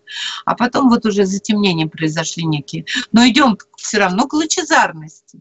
Конечно. Но я хотел сказать, что Русь, э, еще одно понятие, это свет, это светлое. Вот там, где есть свет, все это Русь. И русы – это те, которые люди светлые, не только волосами, но и светлыми мыслями, светлыми помыслами, которые продолжают э, э, творение, продолжают творить, продолжают то, то исполнять задачу, которая перед ними поставлена света, от света. Ой, я вам что скажу. Вот эта Русь, этот свет, это люди с душой, которые были первородными.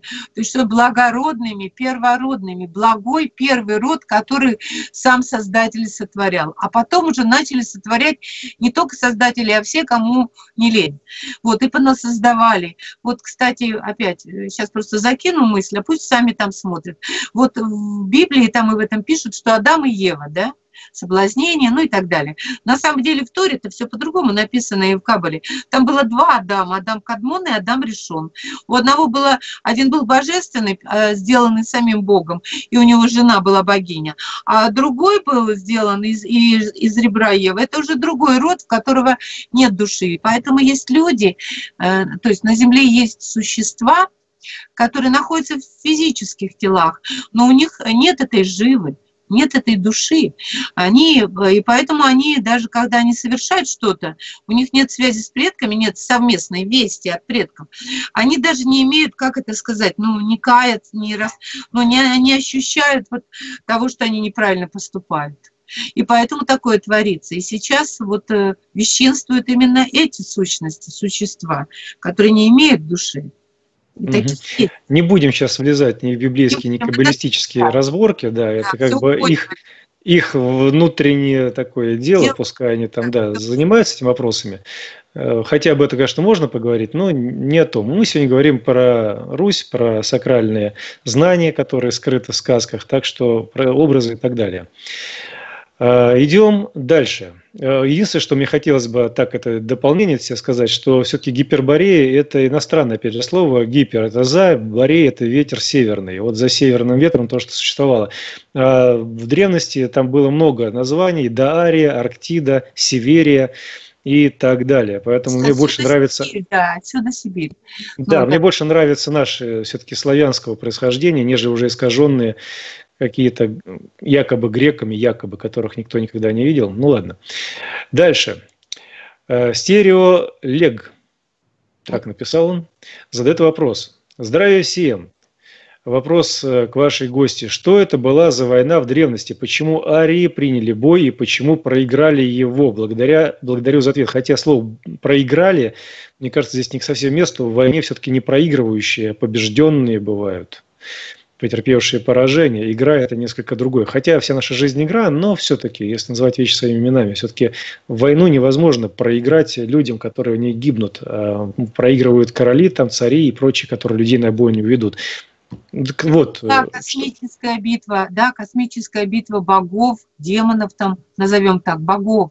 И дело в том, что э, боги, наши боги, они очень добрые, они прямодушные, они, ну как это сказать, это само, ну, само сосредоточение света и добра, и наивности с другой стороны. Ну, трудно описать, ну, там много чего есть. И, и когда было допущено такое не проигрывание, а именно такой результат неправильный, да, это было э, так нужно, и это допустил э, главный бог, так скажем, назовем его, или все там главные боги, там неважно, э, для того, чтобы Вселенная наша и мироздание получили определенные знания, уроки и развивались.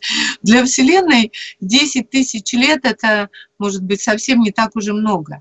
Для людей, конечно, для нас тоже, потому что вот мы сейчас себе раз вдруг 10 тысяч лет ощутили, что это один миг мы же ощущаем это в себе. Поэтому э, все это было допущено и позволено, потому что Бог э, допустил это. Э, сварог, допустим, да, там, ну пусть будет сварог. Это было допущено специально – для того, чтобы э, сделать новый виток в развитии тех дальних, э, как это сказать, галактики, всего того, что есть вокруг нас, чтобы дать всем свет и развитие. Вот через такое разбиение самого себя, через, на самом деле, это пожертвование, самопожертвование. Кстати, Баба Яга – это тоже жертва означает. Это самопожертвование было произведено такое, ну как, вот, э, если, допустим, я большая, умудрая, и вот приходит ну, ко мне ну, такой человек, который не развитый и слабенький, ну, умом, и, так скажем, не, недоразвитый, ну как, я же ему уступлю. Я ему просто позволю даже, ну, себя, скажем, победить чтобы он потом понял что-то. То есть это такое благородство, это самопожертвование, о котором трудно даже пока рассуждать, но оно существует. И яга тоже, она, Баба Яга, она это приносит себя в жертву. Это жертва. Без этой жертвы ничего не будет. Для Хорошо. Мира. Ну, Хорошо. ну, может, слово жертва не, не годится, э, как же это сказать, ну, такое отдать себя, да, а, ну, я вот человек тоже, можно сказать, такой дающий. У меня я дающий человек. А, а ребенок, он берущий. Вот если есть там в дальней галактике какие-нибудь существа, которые пока еще вот берущие, то дающее существо вот отдаст себя на растерзание, да, условно говоря, во имя того, чтобы те стали развиваться как-то, может так.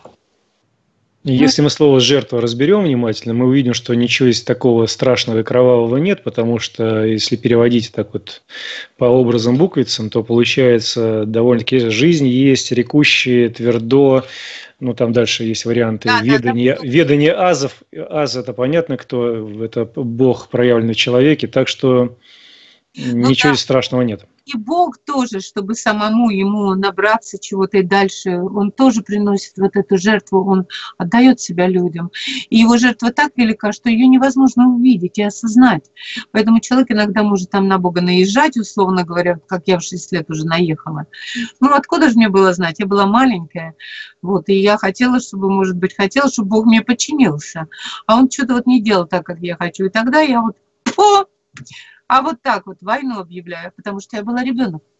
В общем, ты была, ты была, если переводить на те языки, которые ты упоминала, Израилем, то есть богоборцем. Ну да, в 6 лет, да, я была, прошла эту стадию богоборца. Да, да, да, да. Ладно, тут вопрос такой. Три часа прошло, что, время вроде закончилось. Мы с тобой продолжаем на вопрос отвечать или заканчиваем? Ну давай. Как же, у тебя настроение? Давай людям а? ответим, что ж. Хотя Втяну, втянулась. Да. Ты втянулась, короче, да? Да. Хорошо, идем дальше. Итак, Сергей задает вопрос. Здравия. А Кощей – это отрицательный герой? Читал, что слово «Кощей» от слова «кость», «кость рода», устойчивое слово. Какое у тебя представление о слове «Кощей»? Ну, вообще-то вот у нас Кощеево царство и Тартарары, да, это же э, совсем как раз идет тоже из древнего славянства, и Кощей вовсе не считается, это потом в сказках он почему-то стал плохим героем, но на самом деле э, это неплохой герой, это... Э, это, это действительно какая-то основа, это как у дерева корень, я думаю, вот так можно сказать. Но это мое понимание. Э, какие-то люди могут по-другому это расценивать. Есть много тоже разных интерпретаций. Но в сказках, я как думаю, перевернули все и сделали из этого, э, из этого вечного, да, вообще вот, э, насколько я понимаю, после этой войны огромной, вообще все понятия были перевернуты. Пришли такие люди нехорошие, или как не люди, перевернули все. Черное сделали белым, белое черным. Поэтому для меня Кощей это, это, это сила, которая является собой такую очень мощную основу. И почему он бессмертный? Почему он бессмертный-то? Ты знаешь, я думаю, что слово «кощей» также неоднозначно, поскольку существует множество написаний этого слова. И если мы, например, пишем «кощей», это одно. Если пишем «кошей», это другое. Если пишем «кощей», это третье. Вот есть э, те, которые уничтожают что-либо. Есть те, которые объединяют себе что-то, а есть те, которые накапливают что-то. Поэтому кощеи есть разные. Есть кощеи представители пекельного мира, как и самые, ну, одни из самых главных.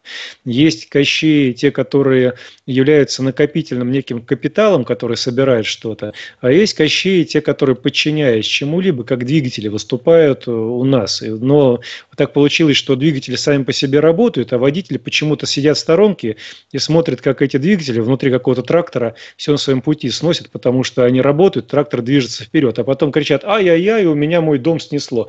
Так где ты был, водитель-то? Почему ты эту стихийную силу не обуздал? Почему ты этого Кощея не направил в нужное, нужное место, в нужное направление? Пускай бы он дороги строил, просеки там пробивал, где нужно. Он же двигатель, он двигает, он должен это делать. Это у него такое призвание. Почему этот Кощей, там, он властитель черных, он разрушает все? А почему ты это допустил? Почему ты не сделал, не сделал противовес? А почему этот Кощей, он накопил кучу и с нами делится? Да потому что ты все оставил, потому что ты, Ванька, все проспал, и он просто взял это все дело и к себе присвоил до поры до времени. Ты заяви права на свое злато-серебро, на свои богатства, достояния в высшем смысле этого слова, и стань тем мудрым мудрецом. Превратись из Ваньки дурачка в этого царевича великого, который начнет управлять царем в голове здесь и вообще станет царем, царем с хорошей большой буквы своей державы. Давайте вот так рассуждать. Поэтому Кощеи разные и много у них вариантов проявления. Идем дальше. Есть же страна Тартария, да, так называемая, и вот э, есть такое понятие древа жизни, древо желаний, древо рода. Вот этот корень, Э, это огромная сила, сила э, корня, да, этот корень и есть этот Кощей. И он э, может, с одной стороны, он может, как, он должен питать это древо, чтобы оно росло и давало плоды. А если что-то случилось, что древо разлучилось со своим корнем, и что-то не так пошло, то, то тут вот подключаются ваши все мысли, твои все мысли, да. То есть нужно руководить этим процессом, это так. Идем дальше. Тимофей, вопрос в эфир. Что вы можете сказать о таком сказочном герое, как Садко и его волшебных гуслях, похождениях в подводном царстве? Это вопросы какие? А, ну, подводное царство, это же понятно, что это другой мир, да? То есть Садко – это человек, который э, искал счастье в других землях. Э, то есть э, он, он уходил в другие миры. А, но, э, но все равно же он потом возвращается и находит счастье только у себя на, на нашей земле, на этой Миргове, да, то есть у нас находит на земле. Вот насчет гусли волшебные, от которых все плясало, ну, здесь у меня вот как бы есть такие опять э, ассоциации, что верховный бог Шива, у него было, Саша, как называлось это, когда он э, гармонизировал Вселенную? Как это у него? Такой барабанчик был? Волшебный, который он так, когда начинал вращать, он этим барабаном всю Вселенную начинала вот гармонизироваться, приходить в гармонию и в радость. Вот гусли, это похоже, что вот, как, как он назывался, я что-то забыла, вот, э, что это именно есть это такой инструмент, это внутренний, скорее всего, инструмент, э, который, э, который приводит, который излучает такую волну, и она приводит э, Вселенную в состояние гармонии. Вот так вот, гармонизатор назовем. Но у бога Шивы вот это совершенно... Как же, Саша, как называлось? Я... Вот она просто, мы забыли. А, вот такой барабанчик, который не мог там поднять никто, только Шива мог его держать. И он принадлежал только ему. И он, когда он начинал на этом вот так играть, то вся Вселенная его слышала и гармонизировалась, и радовалась. Вот. И получается так, что если... Дамару. Как? Дамару. А, Дамару инструмент, Дамару.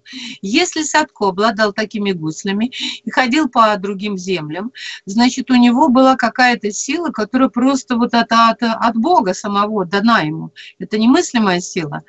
Это не простой человек там какой-нибудь Садко. Это, конечно, под этим образом скрывается некая божественная сущность. Надо разгадать, какой, какой полубог я думаю, что он не бог, а полубог, скрывается под, э, под Садко, под героем. Надо посмотреть просто. Но само садко, саду от слова, да, это высшая, в Индии это высшая ступень служения человечеству, то есть саду. Это когда уже все, все прошел и уже выше не бывает. То есть уже совсем приблизился, уже почти стал вот э, подобен, богоподобное существо. Благодарю. Дальше еще несколько вопросов осталось у нас. Ярослава, реплика в эфир. Был такой Сивый Яр, Зимнее Солнце. И Сивцев вражек в Москве. Там было капище Сивого Яра. Ну, белый, белое солнце, белый Яр. Дальше идем. Белый бог, да, белый бог, сивый, сива, угу, вот это угу, шива, сива, опять все опять в Индию. Ну вот есть, есть у нас понятие белобог и чернобог. Да. Это почти два брата, которые друг против друга настоят вот так вот, но они, ну, говорят, воюют. Они не воюют, они вот все время в контакте находятся, чтобы удерживать мир в равновесии. Ну, как вот как руки вот так вот сделать, да. Да, без, э, без одного невозможно другое. Без э, Чернобога невозможен Белобог. Без Белобога не Чернобог. А Белый Бог – это как раз Сива Бог. То есть, вот как раз Сивый – это может быть одно из апостасий Белобога, проявление его. Тот, который вот за свет отвечает, продвигает, помогает людей, людям что-то познавать, продвигаться и так далее. Он являлся на землю являл, ну как, Бог, он же находится в других мирах, но являлся на землю к людям в определенном очень э, гигантском образе э, вот этого Святогора, то есть, э, который приходил с горы Меру. Да, Святогор был ростом, как описывали, когда он, когда он шел по земле, земля дрожала. То есть это же это великан какой-то был, и людям он являлся, и он помогал. Он, то есть он материализовывался из, на, на земле в физическом плане, как очень большой богатырь. Ну да, в карман он клал Ивана, о, этого, да. Илью Муромца вместе с конем своим. Да, Конь-то у нее был да, не маленький. Да, такой большой был. Но он приходил на помощь. Дальше. Александр Зочияр в эфир. Да, Мария, если занимаетесь медитацией, обратитесь к своим духовным наставникам, наставникам, чтобы показали ягло ваше вам. Вот такое к тебе предложение. Спасибо. И дальше. Обязательно это сделаю. Угу. Александр Зочияр дальше в эфир. У каждого оно разное. Его можно использовать в целительной практике, вводить его в сушу, сушумну и осветлять ауру, то есть выжигать негативную энергию. И вот еще у нас вопрос. Анна Бондаренко из Ютуба. Реплика даже, не вопрос. Мария напоминает по внешности в энергетике Розу Сваху из передачи на первом «Давайте поженимся». О, Господи, я даже... Дело в том, что я не смотрю телевизор вообще. Поэтому я слышала, что есть. Да, и, кстати, я писала даже статью о том, что вот две нехорошие женщины, которые занимаются продажей продажей женщин и мужчин. И крайне негативное отношение у меня лично ко всем этим вот женщинам. Одна там какая-то в фильме играла, Ларису я помню, и вторая, да. Я очень негативно отношусь к ним. Очень. Я считаю, что это просто торговля. Это называется сутенерство. Да, да, вот совершенно точно. Если я похожа, ну шо, что вот мне же делать, чтобы изменить себя? Я не хочу быть похожей на них, на сутенеров. Нет, там за, тебя, там за тебя заступили, сказали, что ты себе э, не делаешь дополнительных э, увеличений объемов разных э, женских мест, в отличие от тех барышень, которые там сидят. Вот это было написано, все слова я дословно не перевожу, куда там тебе силикон закачивают. Вот. Так что все-таки отличия есть. Абсолютно натуральное. Э, кроме вот все натуральное. Не, я не применяю никакой косметики. И вообще прожила жизнь свою с природой. Зачем мне все это, если я люблю природу? И у меня вот я больше по травкам и по всяким таким природным явлениям. Ну, в принципе, мы с тобой все рассмотрели, все вопросы. Был, конечно, еще вопрос э, такой, а есть ли первый источник э, от Виталия Микерова, но я не понял, по какому это случаю этот вопрос, да, о чем? Первоисточник чего? Первоисточник, мы столько тут всего наговорили, первоисточник там славяно-арийских вет, индийских вет, индуистского течения какого-то, я не знаю, что про Кабулу, какой первоисточник, о чем? Сказок, о сивке-бурке? Мы да, можно я все-таки еще раз насчет первоисточника, если уж говорить, да. Первоначальная формула вот так вот жизни, конечно же, есть но она э, до нее не, вот как, наверное, до нее не докопаться э, сейчас. Она где-то хранится, до нее не дойти. Долго будешь идти, не дойдешь. Но нам даны какие-то разбросанные кусочки разных, эм, разных ключей, в разных, э, может, даже книжках, религиях, там, я не знаю где, можно открыть, какой можно услышать на улице, какой-то словечки в словах в русской речи. И когда вы слышите ее, если вы будете очень сердечно вот слышать. Это, так знаете, как подключка какое-то воображение какого-то. Я даже не могу понять. У меня с детства это было подключено. Вот у меня все время во всем двойной смысл был. А то и тройной, а то и десятерной. Потому что я все время вот как-то вот смотрю на ромашку, допустим. И вот я вот смотрю, мне кажется, вот она раз мне что-то сказала, там еще что-то. Вот она, вот этот первоисток. Нужно идти через природу она первоисток. Если вы будете к ней относиться вот как к живому существу, которое вас научит. Вот я тут в Индии была, боже мой, сколько у меня контактов было с животными, с птицами умнейшими, которые просто начали прилетать, там разговаривать со мной, учить меня даже многому. Вот это я просто понимаю, что это мать природа сама вот может через птичку, через ромашку какой-то, через цветочек тебе показать всю вселенную. Да, еще просто, почему мне, может быть, так вот э, такая и с Богом воевала. В шесть лет отец у меня был очень человек, специфический. Он мне сказал, про Вселенную рассказал. Я говорю, я не понимаю, как это она бесконечна.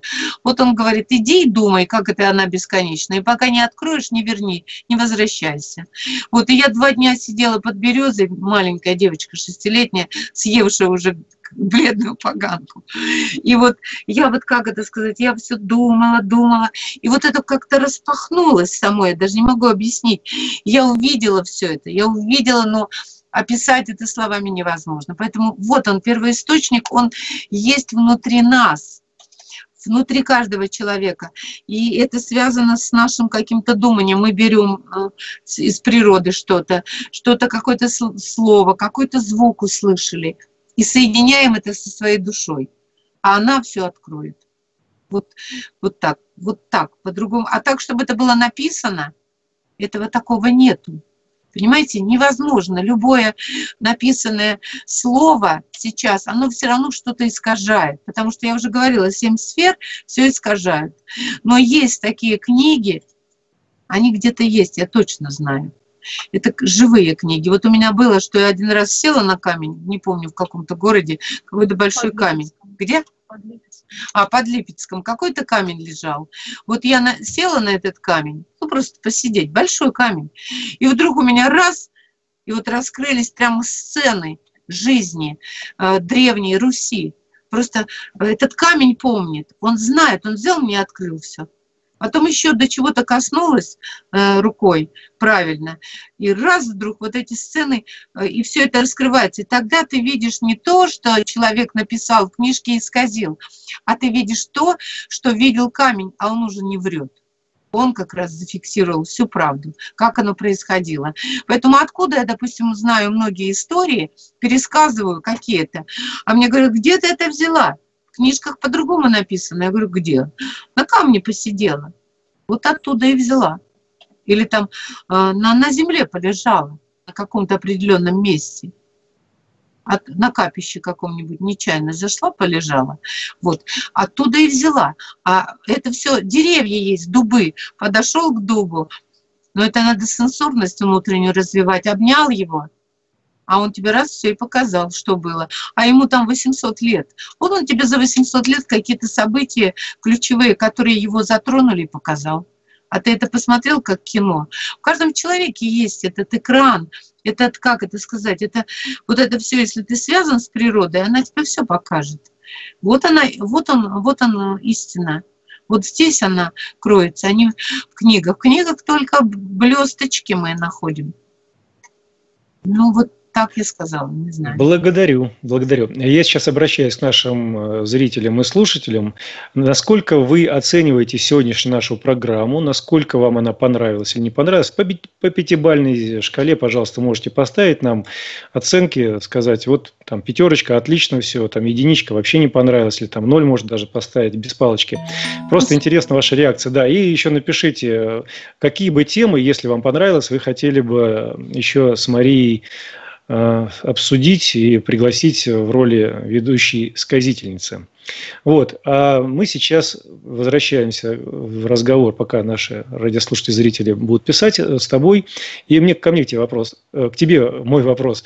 Скажи, пожалуйста, тебе как эта передача понравилась? Насколько тебе кажется, тема была раскрыта, и насколько вопросы и реплики из чата Народно-славянского радио и из Ютуба тебе понравились или не понравились? Что ты для себя отметишь?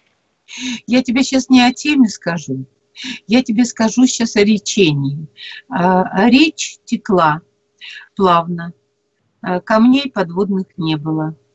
А, речка протекла, речь протекла, да, она протекала, и, и, и ты, и хиты, как это, как две речки слились в одну и потекли, а потом еще стали писать и тоже стали сливаться. Я позволю образами говорить, они вот категориями, да. И получается так, что образовали мы сейчас новое какое-то течение, новую реку э, из наших речей, которая потечет дальше. И до, до кого она дойдет, мне бы очень хотелось, чтобы она также легко протекала, как протекла сквозь меня, сквозь тебя, сквозь тех, кто нам писал. Вот. Через всех протекла, но вот тот, кто написал, что я похожа на эту, которая вот э, продает этих вот э, женщин и мужчин, это просто этот человек, э, значит, сидел и изучал вот мое внешнее вот это вот. А смотреть надо не во внешнее, конечно, а во внутреннее. Но на самом деле, смотрите, ни одного препятствия. Река текла по равнине. Она не, не текла с гор, а в ней не было камней, водопадов, в ней не было, то есть это такая получилась равнинная энергия, которая пошла сегодня – в этот мир. И я просто благодарю всех тех, кто слушал. Благодарю тебя, Алексей, и, и себя тоже благодарю за то, что у нас получился такой ровный, такой прекрасный, э, вот такое прекрасное течение нашей речи русской. И дай Бог, чтобы всегда так и было. И было. Угу. Так, ну вот какие-то у нас идут здесь э, уже оценочки, если это можно так назвать. Благодарю за эфир. Угу, четверочка. Три, э, пять восклицательных знаков. Очень наполненный разговор. Передача получилась. Э, так, мне понравилось. 4,55. Пятерка. Не успел понять, понравился мне эфир, но голос понравился. Пятерка с плюсом. Это в чате Народно-славянского радио. Э, дальше в Ютубе 5 с плюсом, 5 плюсов, десяточка, дальше пятерка, четверка, 5 с плюсом, десятка, 5 с плюсом, 5 с плюсом. Ты себя фигуристкой ощущаешь, нет, на Олимпийских играх? Пятерка, пятерка, 5 и 5. Нет, это, да. вот, знаете, это голос там, это, да, это передача голос, да, так, какой там оценки. Ну, вообще, я очень благодарна всем, кто вот ставит такие оценки. Я даже не знаю, я считаю, что, конечно, это просто они меня, может, даже немножечко там прибавили. Спасибо огромное. Ой, опять скромность, скромность покатила прям. Укра- украшает, украшает, да. Ну, ну ладно, хорошо. Давай тогда переходить. Хорошего кто-то написал фразу, которая мне очень понравилась. Передача получилось. Вот для меня самое главное, чтобы получилась передача того, что э, из сердца моего течет, из твоего сердца, и чтобы это все, и, и то, что течет из, из тех, кто нас слушает, чтобы эта передача всего того, что мы передаем, мягко, мягко потекла в мир. И давайте направим ее в Питер, чтобы туда биологическое оружие никто не скидывал. Давай не только в Питер. Почему в Питер-то? Давай вообще ну, уж давай. очистим, очистим, давай уже земельку-то от этой всей гадости и глупости. А вот, на самом деле, если мы сейчас все друг друга поняли, то так и все и совершается, собственно. Пора уже, пора. Пора. Ой, Алексей, как мне радостно слушать тебя. Хорошо. Ну, не хвали меня, не надо. Я человек скромный. Да. Я так сижу да, бывает, да. Сижу. Кнопочки, кнопочки нажимаю, примус подчиняю. Ладненько. Значит, вот что, друзья мои. Э, передача, судя по оценкам, удалась. Все замечательно и хорошо. А тем, кто нас будет уже в записи смотреть, э, большая-большая просьба, ну, во всех случаях, к здравомыслящим людям. Э, вы, если хотите что-то написать, то пишите как человече ну, как человеки, во всяком случае. То есть пишите, если вам что-то не понравилось, обоснование почему, предложение, как лучше сделать. Э, всякие хамские реплики, типа там они просто будут стираться и будут баниться, потому что мы не на базаре, где кто-то кому-то что-то втюхивает. Мы разбираемся с интересными темами всесторонне. И даже если сказитель, на ваш взгляд, пришел и несет, как вам кажется, какую-то муру, это еще не означает, что это на самом деле мура. Может быть, просто по каким-то причинам он говорит чуть-чуть с другой стороны, одного кристалла, и для вас это немножко непонятно, что вы на другой стороне. Если кто-то пришел и говорит тему, которая, вернее, озвучивает тему, которая вам по каким-то причинам кажется какой-то не такой, это еще не значит, что эту тему не надо разбирать. То есть не делайте однозначных выводов, становитесь человеками. А человек – это тот, который осознает и осознанно может написать, почему ему не понравилось, что он может предложить взамен, по каким причинам, какая следующая тема эфира или так далее и тому подобное. Вот это человеческое наше общение. Без ругани, без гадости мы общаемся – то есть создаем нечто общее. А разделять друг друга не надо, потому что нас и так всех уже разделили, и пришло время нам соединяться, объединяться и делать единое наше общее. Державу строить надо, друзья мои, державу. Пришло время. Ну что ж, по нашей... Да, общались, Алексей, мы общались на самом деле вот с тобой, я вот это чувствовала сердцами. И поэтому, когда люди общаются душой, сердцем противоречий нет. А, просто их нет. А, и вот если подключаются какие-то чужие, когда люди, человек, он не всегда сам в себе. Часто в нем есть какие-то чужие установки, какие-то, какие-то он где-то что-то понабрался. И вот это выскакивает с него. Поэтому мы даже, я вот даже так отношусь, я понимаю, что это не он сказал не его душа сказала, это вот с него выскочило то, что там сидело. И если кто-то даже, вот, ну, пусть не пишет, но если ругнулся, это значит, что с него это выскочило, и он очистился. Вот как в пекле побывал. Ты знаешь, я скажу, очищаться надо в определенных местах, где это пекло есть. Вот баня – это место где очищаются. Баня – это место, где появляются на свет. Баня – это где кого-то омывают. То есть это место очистки, переход из одного мира в другой, это уборка хвори и так далее. Э, можно, конечно, очищаться просто идя по улице и поливая направо и налево. Но есть специальные места, куда надо поливать, как пел Высоцкий, э, плюю, плюю только в урны я, да? Потому что ты там не поймешь за печку, потому что темнота не культурная. Вот. Но не надо в местах, где есть светлые люди, плевать туда мимо урны. Если вы хотите себя что-то выплюнуть, пожалуйста, вот есть места отхожие. Поэтому не надо, где попадя, из себя что-то изрыгать. Ну ладно, итак, давай по уже сложившейся у нас традиции пожелаем заключения от себя что-то светлое и доброе нашим радиослушателям и зрителям Народного славянского радио. Чтобы ты от себя помня о нашей теме сакральные образы, э, скрытые образы сакральных, э, сакральные в русских народных сказках, вот что бы ты от себя могла пожелать и желаешь пожелать, пожелать нашим радиослушателям и зрителям Народного славянского радио? Прямо с этой минуты я просто желаю каждому, кто слушал, кто нас слушал, чтобы вот эти образы тайные вошли, каждый, каждый человек соответствует какому-то образу, и раскрылись в людях. И стали люди вот этими богами, этими сказочными, ну, сказочными образами, чтобы обрели они эту силу, знания и жили бы в высоком-высоком достоинстве, потому что когда человек ощущает вот, э, вот это кто он, да, вот она, вот она, э, Василиса Премудрая, вот она царевна, не кто-то там, а царевна, а вот он богатырь, а вот он красавец какой. Тогда уважение, тогда, тогда совсем другой мир. Если мы так почувствуем, если мы примем это в сердце и начнем жить в соответствии с этим, то мы очень быстро можем создать эту державу. Это мы можем. Прям, а потом это уже пойдет как девятый вал. То есть это быстро начнет распространяться. Но сейчас мы уже являем собой это. Мы же слушали это, мы же делали это, мы же говорили это. Кто-то внутри все равно язычок вот этот говорил. Значит, мы уже есть это. Уже передо мной не просто Алексей сидит. О, может, Алеша Попович, например. Сказочный герой. А он не сказочный, он на самом деле просто сказанный герой. Сказали о нем, он и стал им. Во как бывает-то. А вот тут надо задуматься. Мудрость-то она и премудрость даже больше. У русского человека есть не просто мудрость, а премудрость. Вот мы и должны стать премудрыми. Вот я и желаю этого.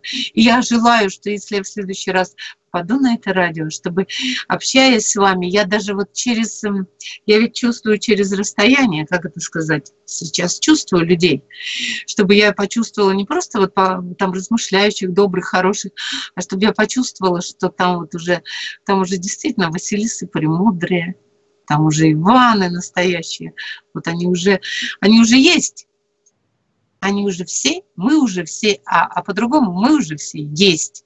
Осталось только понять, и все это станет единым целым. Все. Благодарю тебе за добрые слова, за добрые пожелания, за интересное собеседование, интересный рассказ.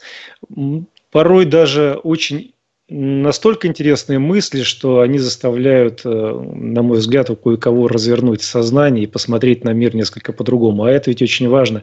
Когда мы смотрим только в одну сторону, мы зашоренные, да. мы идем по той тропинке, нас кто-то куда-то гонит. А когда мы смотрим во все стороны, мы можем стать хозяевами жизни, потому что Ёлы пал, так это ж все мое, так это ж я за это ответственность несу, это же мой мир. Я когда-то принимал участие в его создании, а это же большая ответственность. Ты его создал, ты же его должен содержать в порядке. А это очень важно. Маленькое воспоминание просто напоследок. Я была в одной семье, и там были дети, они играли. Я запомнила имя этого мальчика Данила. И вот он играл, играл, и я его вытащила, и пошла с ним в другую комнату и стала просто разговаривать. А, а ты когда-нибудь был там в море, плавал и что-то про дельфинов, а вот можешь представить, как мы на дельфинах вместе с тобой купа, ну, плывем, да, и дельфин, сидим на дельфинах. Вот я только, честно слово, только это говорила. Вдруг мы выходим с ним, он уже стал другой, перестал драться, там все. И он папе своему говорит, папа, знаешь, я помню, как я сотворял мир, землю было очень трудно, потому что было внесено зло. Папа на меня напал и сказал, ты что с ним сделала? Что ты, что ты ему такое наговорила? Я говорю, честно слово, я ничего не говорила. Мы на дельфинах просто по, поплавали в океане, ну, в воображении. И вдруг у мальчика это раскрылось. Вот пусть у каждого так раскроется. Да будет так. Да. Итак, напоминаю вам, друзья мои, что сегодня, пока еще по одному из современных календарей, 6 июля 2017 года, четверг, по одному из старинных, по одному из старинных, пятый день месяца получения даров природы, 7525 лета, среда. Мы в живом эфире сегодня говорили на тему «Сакральные образы, сокрытые в русских народных сказках». И говорили мы с Марией Карпинской. За что низкий поклон тебе, Мария. Низкий поклон всем нашим слушателям и зрителям, которые писали очень интересные реплики, задавали очень интересные вопросы, ну, может быть, за малым исключением, на мой взгляд, такой привередливый, гадкий такой противный взгляд и такой привереда. Вот. Но все-таки эфир, на мой взгляд, удался тема, на мой взгляд, раскрыта. Ждем ваших предложений по эфирам, о чем еще будем разговаривать, о чем еще будем вещать. Вместе сделаем мир лучше. Увидимся, услышимся. Быть добру. С вами было Народное славянское радио. Мария Карпинская, Алексей Орлов. До новых встреч. Добра.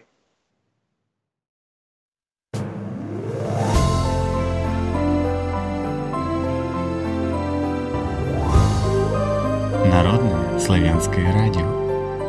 Все нужно, все важно.